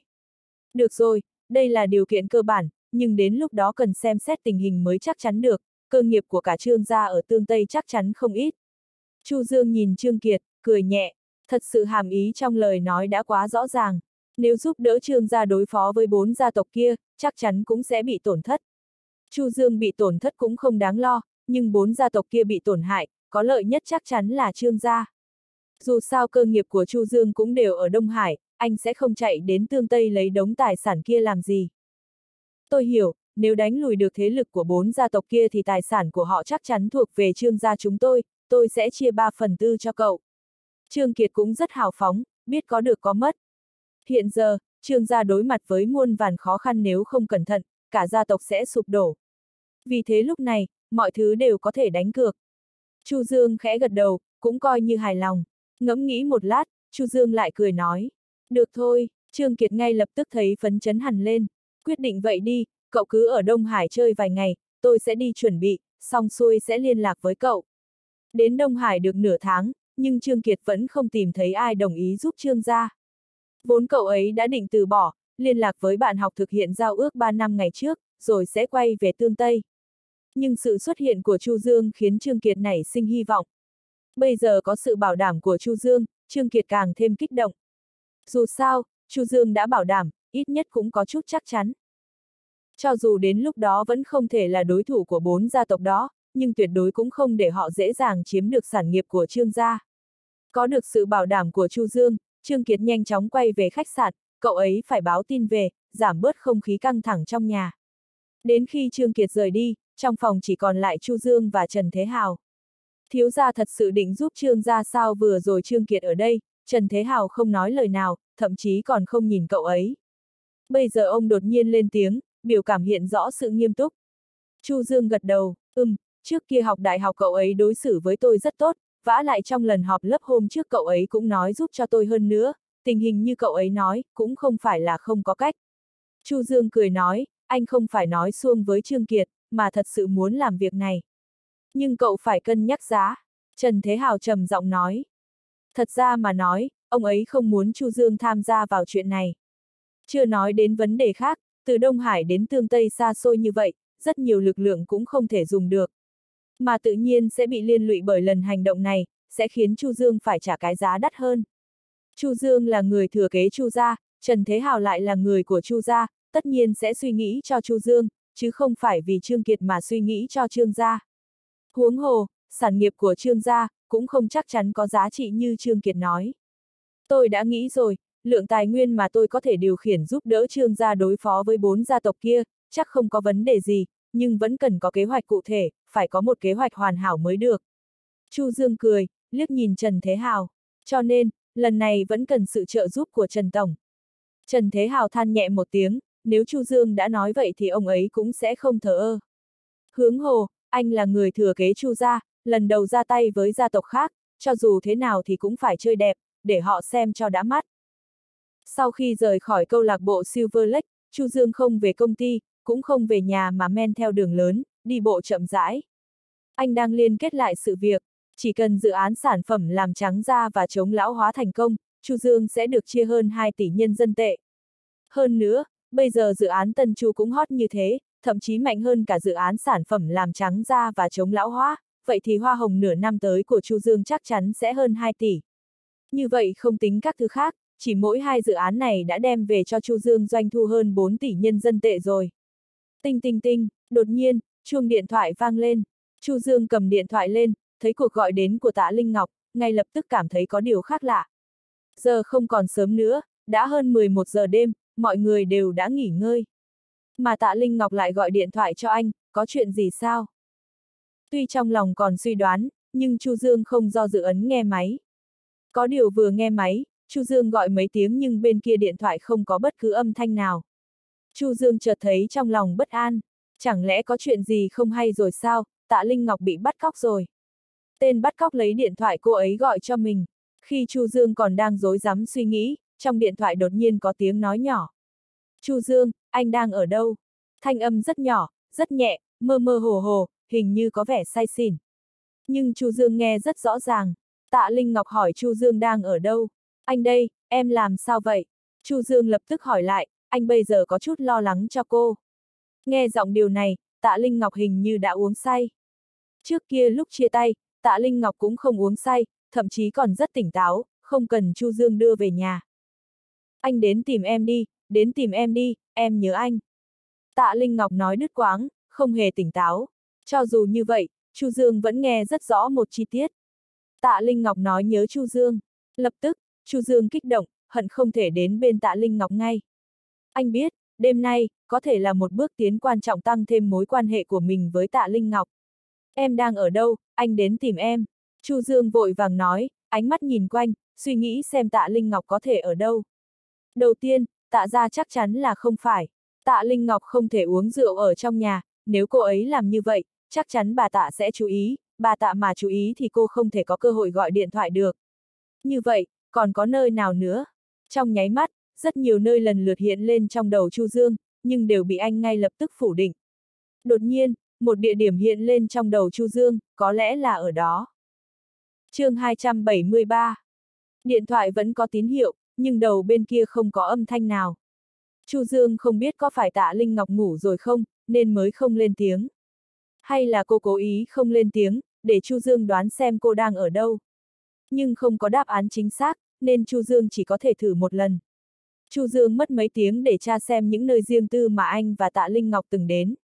Cho dù là công viên, hay là ngoài đường, nhưng không thu hoạch được gì. Người phụ nữ chết tiệt này, không phải ở công ty chứ. Chu Dương lầm bầm, trong lòng rất lo lắng. Lâu như vậy mà không tìm thấy Tạ Linh Ngọc, ngộ nhớ cô xảy ra chuyện gì, Chu Dương có hối hận thì cũng không kịp nữa. Chu Dương không chút do dự, chạy thẳng về công ty. Tất nhiên là công ty mỹ phẩm duyệt kỳ của Tạ Linh Ngọc. Lúc này, nơi có thể khiến Tạ Linh Ngọc không ngại ngần tùy ý gọi điện cho mình sau khi uống say, chắc chỉ có công ty thôi. chẳng mấy chốc, Chu Dương đã đến tầng một công ty mỹ phẩm duyệt kỳ. Đứng ở dưới tầng, Chu Dương ngẩng đầu lên, nhìn thấy một tầng còn sáng đèn trong khoảng không gian tối xung quanh của công ty duyệt kỳ. Đếm vị trí thì đúng là văn phòng của tạ Linh Ngọc. Người phụ nữ này, Chu Dương không biết nói gì, không ngờ là cô lại ở công ty. Hơn nữa đã trễ thế này, vẫn chưa về nhà. Người phụ nữ này rốt cuộc muốn làm gì? Chẳng lẽ không sợ nguy hiểm sao? Chu Dương lập tức phóng lên tầng, đến văn phòng của tạ Linh Ngọc. Nhưng khi anh vừa bước vào phòng, liền cau mày lại. Mùi rượu, mùi rượu nồng sông vào mũi, phải kêu lên bịt mũi lại, ánh mắt tìm kiếm tạ Linh Ngọc. Cuối cùng anh cũng nhìn thấy tạ Linh Ngọc, lúc này tạ Linh Ngọc đang nằm trên sofa, nhìn không có chút hình tượng nào. Tóc rối loạn lù xù che hết cả gương mặt, quần áo trên người thì lộn xộn, thậm chí lộ ra cả vùng da trắng nõn. Nếu để người đàn ông khác nhìn thấy, nhất định không nhịn được. Nhưng giờ Chu Dương nhìn vậy, chỉ cảm thấy rất không đành lòng, không biết phải làm sao. Anh biết tạ Linh Ngọc là người như thế nào, luôn có kỷ luật, điềm đạm. Kết hôn với cô hơn 3 năm, Chu Dương cũng chưa nhìn thấy bộ dạng cô như thế này bao giờ. Cho dù trước kia công ty mỹ phẩm duyệt kỳ có lâm vào khó khăn, đứng trên nguy cơ phá sản. Lúc đó tạ Linh Ngọc cũng không như bây giờ, ngược lại còn rất có ý chí quyết tâm, không ngừng đi tìm kiếm nhà đầu tư. Bị từ chối, rồi lần tiếp theo, lại bị từ chối. Cứ lặp lại như vậy, thậm chí, vài lần tạ Linh Ngọc còn rơi vào tình huống nguy hiểm, nếu không có Chu Dương thì cô ấy đã rơi vào tay kẻ ác. Khoảng thời gian khó khăn như thế, tạ Linh Ngọc vẫn rất tích cực lạc quan, không thể hiện ra bộ dạng nhếch nhác này. Bây giờ, công ty Mỹ phẩm Duyệt Kỷ đã khôi phục kinh doanh, hơn nữa còn phát triển hơn trước kia. Tạ Linh Ngọc lại biến thành bộ dạng này. Chu Dương có chút không hiểu, đây không phải đều là thứ cô ấy muốn sao. Bây giờ đã đạt được rồi, sao lại có biểu hiện như muốn chết thế này. Bước tới, Chu Dương gạt tóc lên, để lộ ra toàn bộ khuôn mặt của tạ Linh Ngọc. Lúc này, một bên mặt thanh tú của tạ Linh Ngọc đã đỏ ửng. Nhưng điều Chu Dương chú ý tới là dưới đôi mắt của tạ Linh Ngọc có hai vệt nước mắt ẩn giấu. Mặc dù đã được che một lớp đỏ vì uống rượu nhưng Chu Dương vừa nhìn đã nhận ra ngay. Trước khi tạ Linh Ngọc uống say, đã khóc, người phụ nữ này, thở nhẹ một tiếng, Chu Dương lau đi vệt nước mắt trên mặt tạ Linh Ngọc, sau đó chỉnh lại quần áo cho cô. Tốt nhất không nên như vậy, lộ ra cả một mảnh da trắng, ảnh hưởng không tốt. Sau khi sửa sang lại quần áo cho cô, Chu Dương ngồi trên ghế sofa, cúi đầu nhìn tạ Linh Ngọc. Điện thoại vẫn sang, rơi trên sàn. Môi tạ Linh Ngọc mấp máy nhẹ, như muốn nói điều gì. Nhưng sau khi uống rượu, đầu óc đã mê man, cô ấy không thốt ra lời. Chu Dương tự nhiên có chút đau lòng. Lúc trước anh chưa từng nhìn thấy dáng vẻ này của cô. Trong tâm trí anh, tạ Linh Ngọc luôn là mẫu phụ nữ mạnh mẽ. Nhưng giờ nhìn thấy cô như thế này, Chu Dương liền thấy, giai đoạn này cô đã rất vất vả. Vừa phải trèo chống công ty mỹ phẩm duyệt kỷ, vừa phải bận rộn làm dự án. Bên cạnh chẳng có ai giúp đỡ, an ủi hay ủng hộ cô. Dường như mọi người đều cho rằng, cô có thể làm được, chắc chắn cô làm được. Chỉ vì cô là tạ Linh Ngọc đầu ngốc. Chu Dương vươn tay, nhẹ nhàng vuốt mặt tạ Linh Ngọc, trong lòng nhẹ nhàng rung động. Anh thậm chí còn không nhớ rõ mình thân mật với tạ Linh Ngọc như thế này từ khi nào. Hai người kết hôn ba năm, nói đúng là chuyện cười, Chu Dương thậm chí còn chưa động phòng với tạ Linh Ngọc. Ô, anh tới rồi à? Như cảm nhận được điều gì, tạ Linh Ngọc thốt lên một tiếng, mặt tựa vào Chu Dương, để cho Chu Dương vuốt ve. Hàng lông mày lúc đầu nhíu lại dường như đã dẫn ra, gương mặt cao có cũng đã dịu dàng lại. Ừm, anh đến rồi, sao em lại uống rượu một mình ở đây? Chu Dương nhẹ nhàng đáp lời, cứ ngồi như vậy trên ghế sofa, không tránh né, cũng không lại gần. Em, muốn uống rượu, anh, không quan tâm em. Nghe thấy Chu Dương nói, đôi môi anh đào của tạ Linh Ngọc nhẹ nhàng bĩu lên, như đang làm nũng. Chu Dương bất ngờ không kịp phòng bị, giọng nói của cô khiến cho anh giật mình. Kiểu làm nũng này, đối với tạ Linh Ngọc đúng là không hợp. Sao anh lại không quan tâm em chứ? Chu Dương cười nói, nếu tạ Linh Ngọc đã say, còn nói ra những lời trong lòng, vậy thì Chu Dương cũng sẽ nói chuyện với cô. Dù sao giờ tạ Linh Ngọc cũng đã ngủ say, không thể di chuyển tránh để cô thức giấc. Chu Dương cũng không thể một mình rời đi. Anh không quan tâm em, anh chưa bao giờ quan tâm em, anh chỉ quan tâm thẩm bích quân. Tạ Linh Ngọc trầm giọng nói, đột nhiên xoay người, ôm lấy cánh tay Chu Dương. Chu Dương giật mình, tưởng là cô tỉnh giấc. Khi biết cô chưa tỉnh, Chu Dương thở nhẹ một tiếng, muốn rút tay ra mà không rút được, bị tạ Linh Ngọc ôm trước ngực, sống chết không buông. Nhưng sau khi nghe thấy mấy lời này của tạ Linh Ngọc, Chu Dương lại rơi vào trầm mặc. Người phụ nữ này đang ghen, nếu không sao cô lại đột nhiên nhắc tới thẩm bích quân.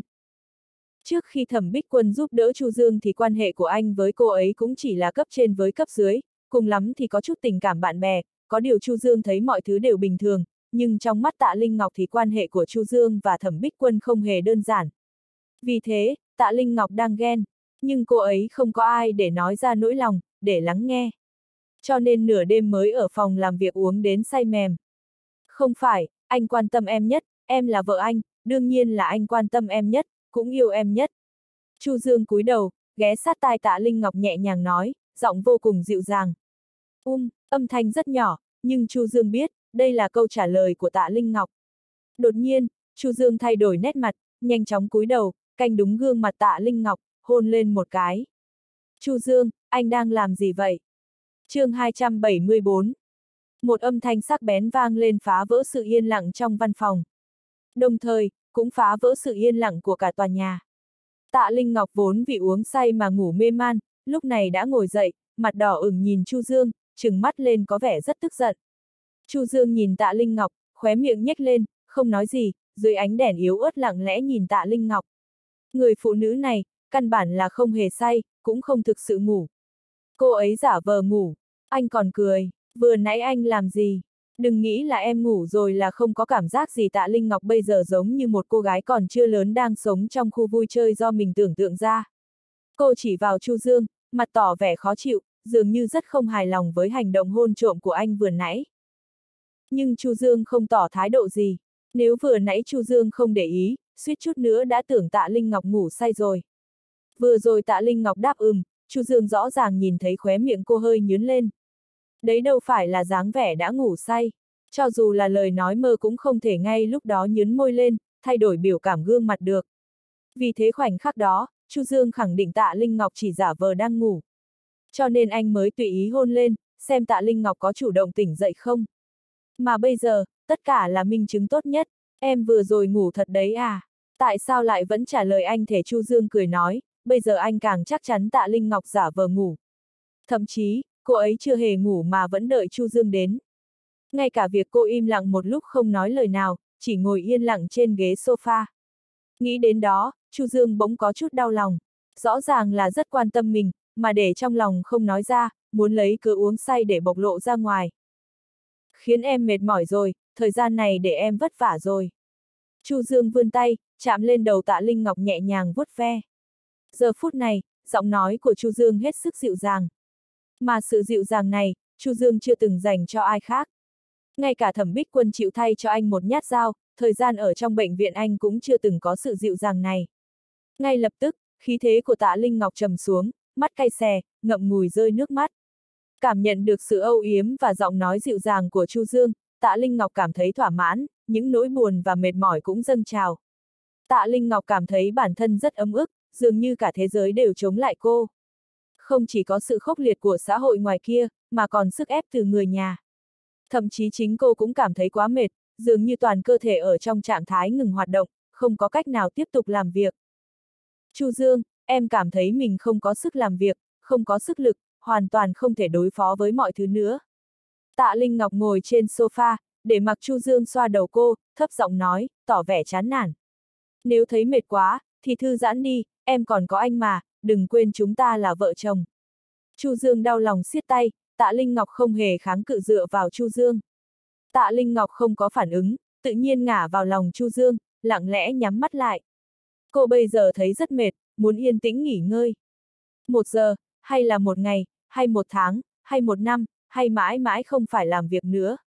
Anh còn nhớ rõ, lần đầu tiên gặp em, em cười tỏa sáng như mặt trời vậy, để lại ấn tượng sâu sắc không thể quên trong lòng anh. Chu Dương cười nói, giọng rất dịu dàng, nói chi tiết sự việc xảy ra giữa mình và Tạ Linh Ngọc, từ lần đầu gặp mặt đến tất cả mọi việc xảy ra sau này. Tạ Linh Ngọc cũng không từ chối, yên lặng lắng nghe.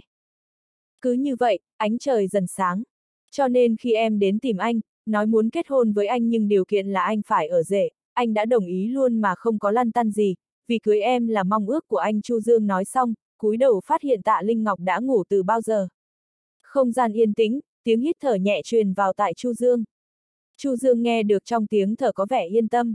Chu Dương đem lại cho tạ Linh Ngọc cảm giác an toàn, cô mới có thể tạm thời quên đi mọi chuyện mà đi vào giấc ngủ. Nếu tạ Linh Ngọc đã ngủ say, Chu Dương cũng không thể ôm cô mãi như vậy, dù sao cũng không khiến cô thoải mái. Tìm một tư thế phù hợp, Chu Dương nhẹ nhàng đặt cô xuống, cởi bỏ áo khoác ngoài đắp cho cô, tránh để cô bị lạnh. Nhìn văn phòng bừa bộn, Chu Dương khẽ cười một tiếng, bắt đầu làm một nhân viên vệ sinh vui vẻ. Một lúc sau, văn phòng đã được Chu Dương dọn dẹp sạch sẽ như ban đầu. Mà lúc này, trời đã sáng rõ, bên ngoài cũng có không ít người đi làm rồi. Cạch, một tiếng động nhỏ, cửa văn phòng đột nhiên bị ai đó mở ra. Người bước vào là thư ký của tạ Linh Ngọc, thư ký nhìn thấy trong phòng có sự xuất hiện của Chu Dương, vẻ mặt mơ hồ. Ngay lúc đó, trong lòng cô ấy hiện lên một ý nghĩ. Trong văn phòng của tạ tổng sao lại có đàn ông, nhưng khi nhìn rõ Chu Dương, cô thở phào một tiếng. Đối với việc của Chu Dương và tạ Linh Ngọc, người trong công ty dường như đều biết. Vì thế nên thư ký cũng không ngạc nhiên lắm. Chu Tổng, không ngờ anh cũng ở đây. Thư ký nói nhỏ, gật đầu chào, lùi ra ngoài đóng cửa lại.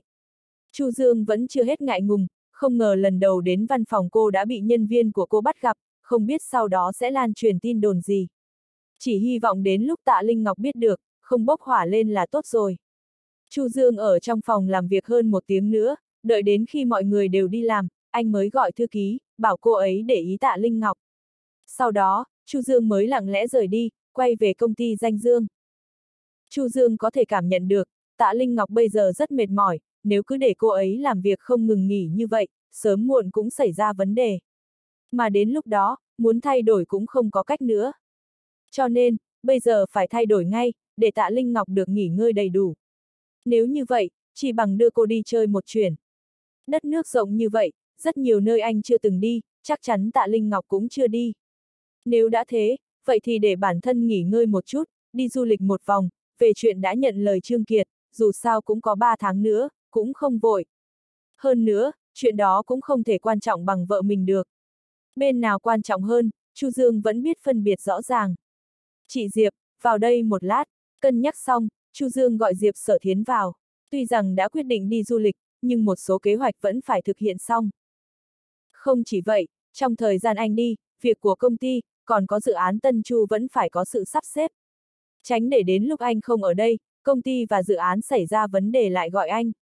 Diệp Sở Thiến cũng đoán giả đoán non, không biết Chu Dương vội vàng tìm mình có chuyện gì. Chu Tổng, anh tìm tôi. Trong lúc tới văn phòng Chu Dương, đẩy cửa vào Diệp Sở Thiến chỉ hỏi đúng một câu, rồi nhận được một câu nói khiến cô ngạc nhiên. Diệp Tổng, tôi chuẩn bị đi du lịch, chị giúp tôi quản lý mọi việc. chương 275 Sao cơ, anh muốn đi du lịch? Diệp Sở Thiến kêu lên, nhận thấy mình nói hơi to, dễ gây chú ý người khác liền bịt miệng lại, vẻ mặt ngạc nhiên nhìn Chu Dương. Thẩm Bích Quân vừa xảy ra chuyện, vẫn còn đang trong viện, mà dự án Tân Chu mới bắt đầu được nửa tháng. Bây giờ, người lãnh đạo công ty danh Dương là Chu Dương lại nói muốn đi du lịch.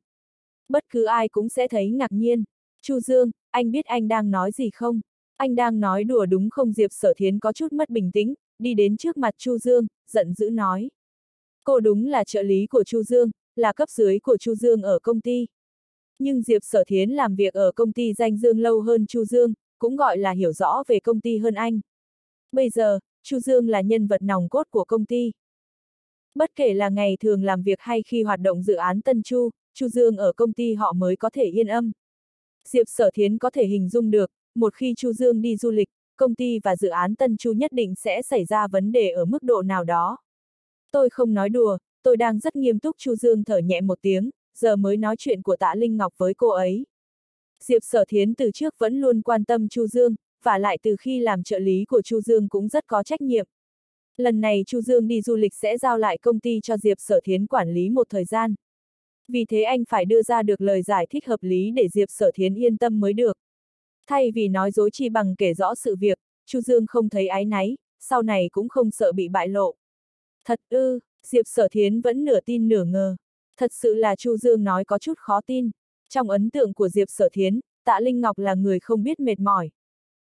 Sau một ngày làm việc, Diệp Sở Thiến về nhà vô cùng mệt mỏi, thậm chí chả muốn động vào bất cứ việc gì, chỉ muốn đi ngủ một giấc. Nhưng dù là thế, ngày hôm sau đi làm vẫn cảm thấy cơ thể mệt mỏi. Thậm chí phải mất nhiều thời gian để tỉnh táo. Nhưng mỗi lần gặp tạ Linh Ngọc, nhìn tạ Linh Ngọc lúc nào cũng hoạt bát, năng động, tràn đầy sức lực, dường như không bao giờ biết mệt, một lòng chuyên tâm vào công việc. Mà bây giờ, chính Chu Dương lại nói với cô, tạ Linh Ngọc mệt mỏi lắm rồi, cần được nghỉ ngơi. Bất cứ ai cũng sẽ thấy ngạc nhiên, nhưng Diệp Sở Thiến có thể hiểu được, nếu đổi lại là cô, đừng nói là kiên trì được đến bây giờ, mà đã gục ngã từ lâu. Tạ Linh Ngọc cảm thấy mệt mỏi là điều đương nhiên. Vậy anh định sắp xếp thế nào? Anh đi du lịch, thẩm tổng thì ở trong viện, công ty không có ai lãnh đạo, mà dự án Tân Chu chưa có ai đứng ra phụ trách ca Diệp Sở Thiến đã chấp nhận được việc Chu Dương đi chơi. Bây giờ cô ấy cần biết sau khi Chu Dương đi thì công ty và dự án Tân Chu sẽ hoạt động như thế nào. Sau khi tôi đi, công ty và dự án Tân Chu sẽ giao cho chị, tôi mới yên tâm. Chu Dương nhìn thấy Diệp Sở Thiến, cười nói. Chu Dương hoàn toàn tin tưởng vào năng lực của Diệp Sở Thiến, dù sao anh cũng có thời gian làm nhân viên cùng một vị trí với Diệp Sở Thiến nên rất hiểu năng lực của cô ấy. Huống hồ, Chu Dương lần này đi, đâu phải không quay trở lại. Nhiều nhất là hơn một tháng, chỉ cần công ty và dự án Tân Chu làm theo các bước thì sẽ không xảy ra vấn đề gì quả lớn. Cho dù có xảy ra chút vấn đề, Diệp Sở Thiên không giải quyết được thì đợi đến khi anh quay về cũng có thể nỗ lực giải quyết nhanh chóng. Được rồi, vậy anh định đưa tạ tổng đi đâu? Diệp Sở Thiên đành chấp nhận, cô biết, Chu Dương đã quyết định, cho dù bản thân có nói gì cũng không thể thay đổi được. Thay vì nài nỉ khuyên bảo, Diệp Sở Thiên sẵn sàng tiếp nhận mọi sắp xếp, dù sao tình hình dự án Tân Chu và công ty thì cô vẫn nắm rõ. Ừ, tôi định đưa Linh Ngọc đến gặp Manh Manh, trước kia nói đợi có thời gian đi thăm em ấy mà mãi không có, giờ vừa có dịp.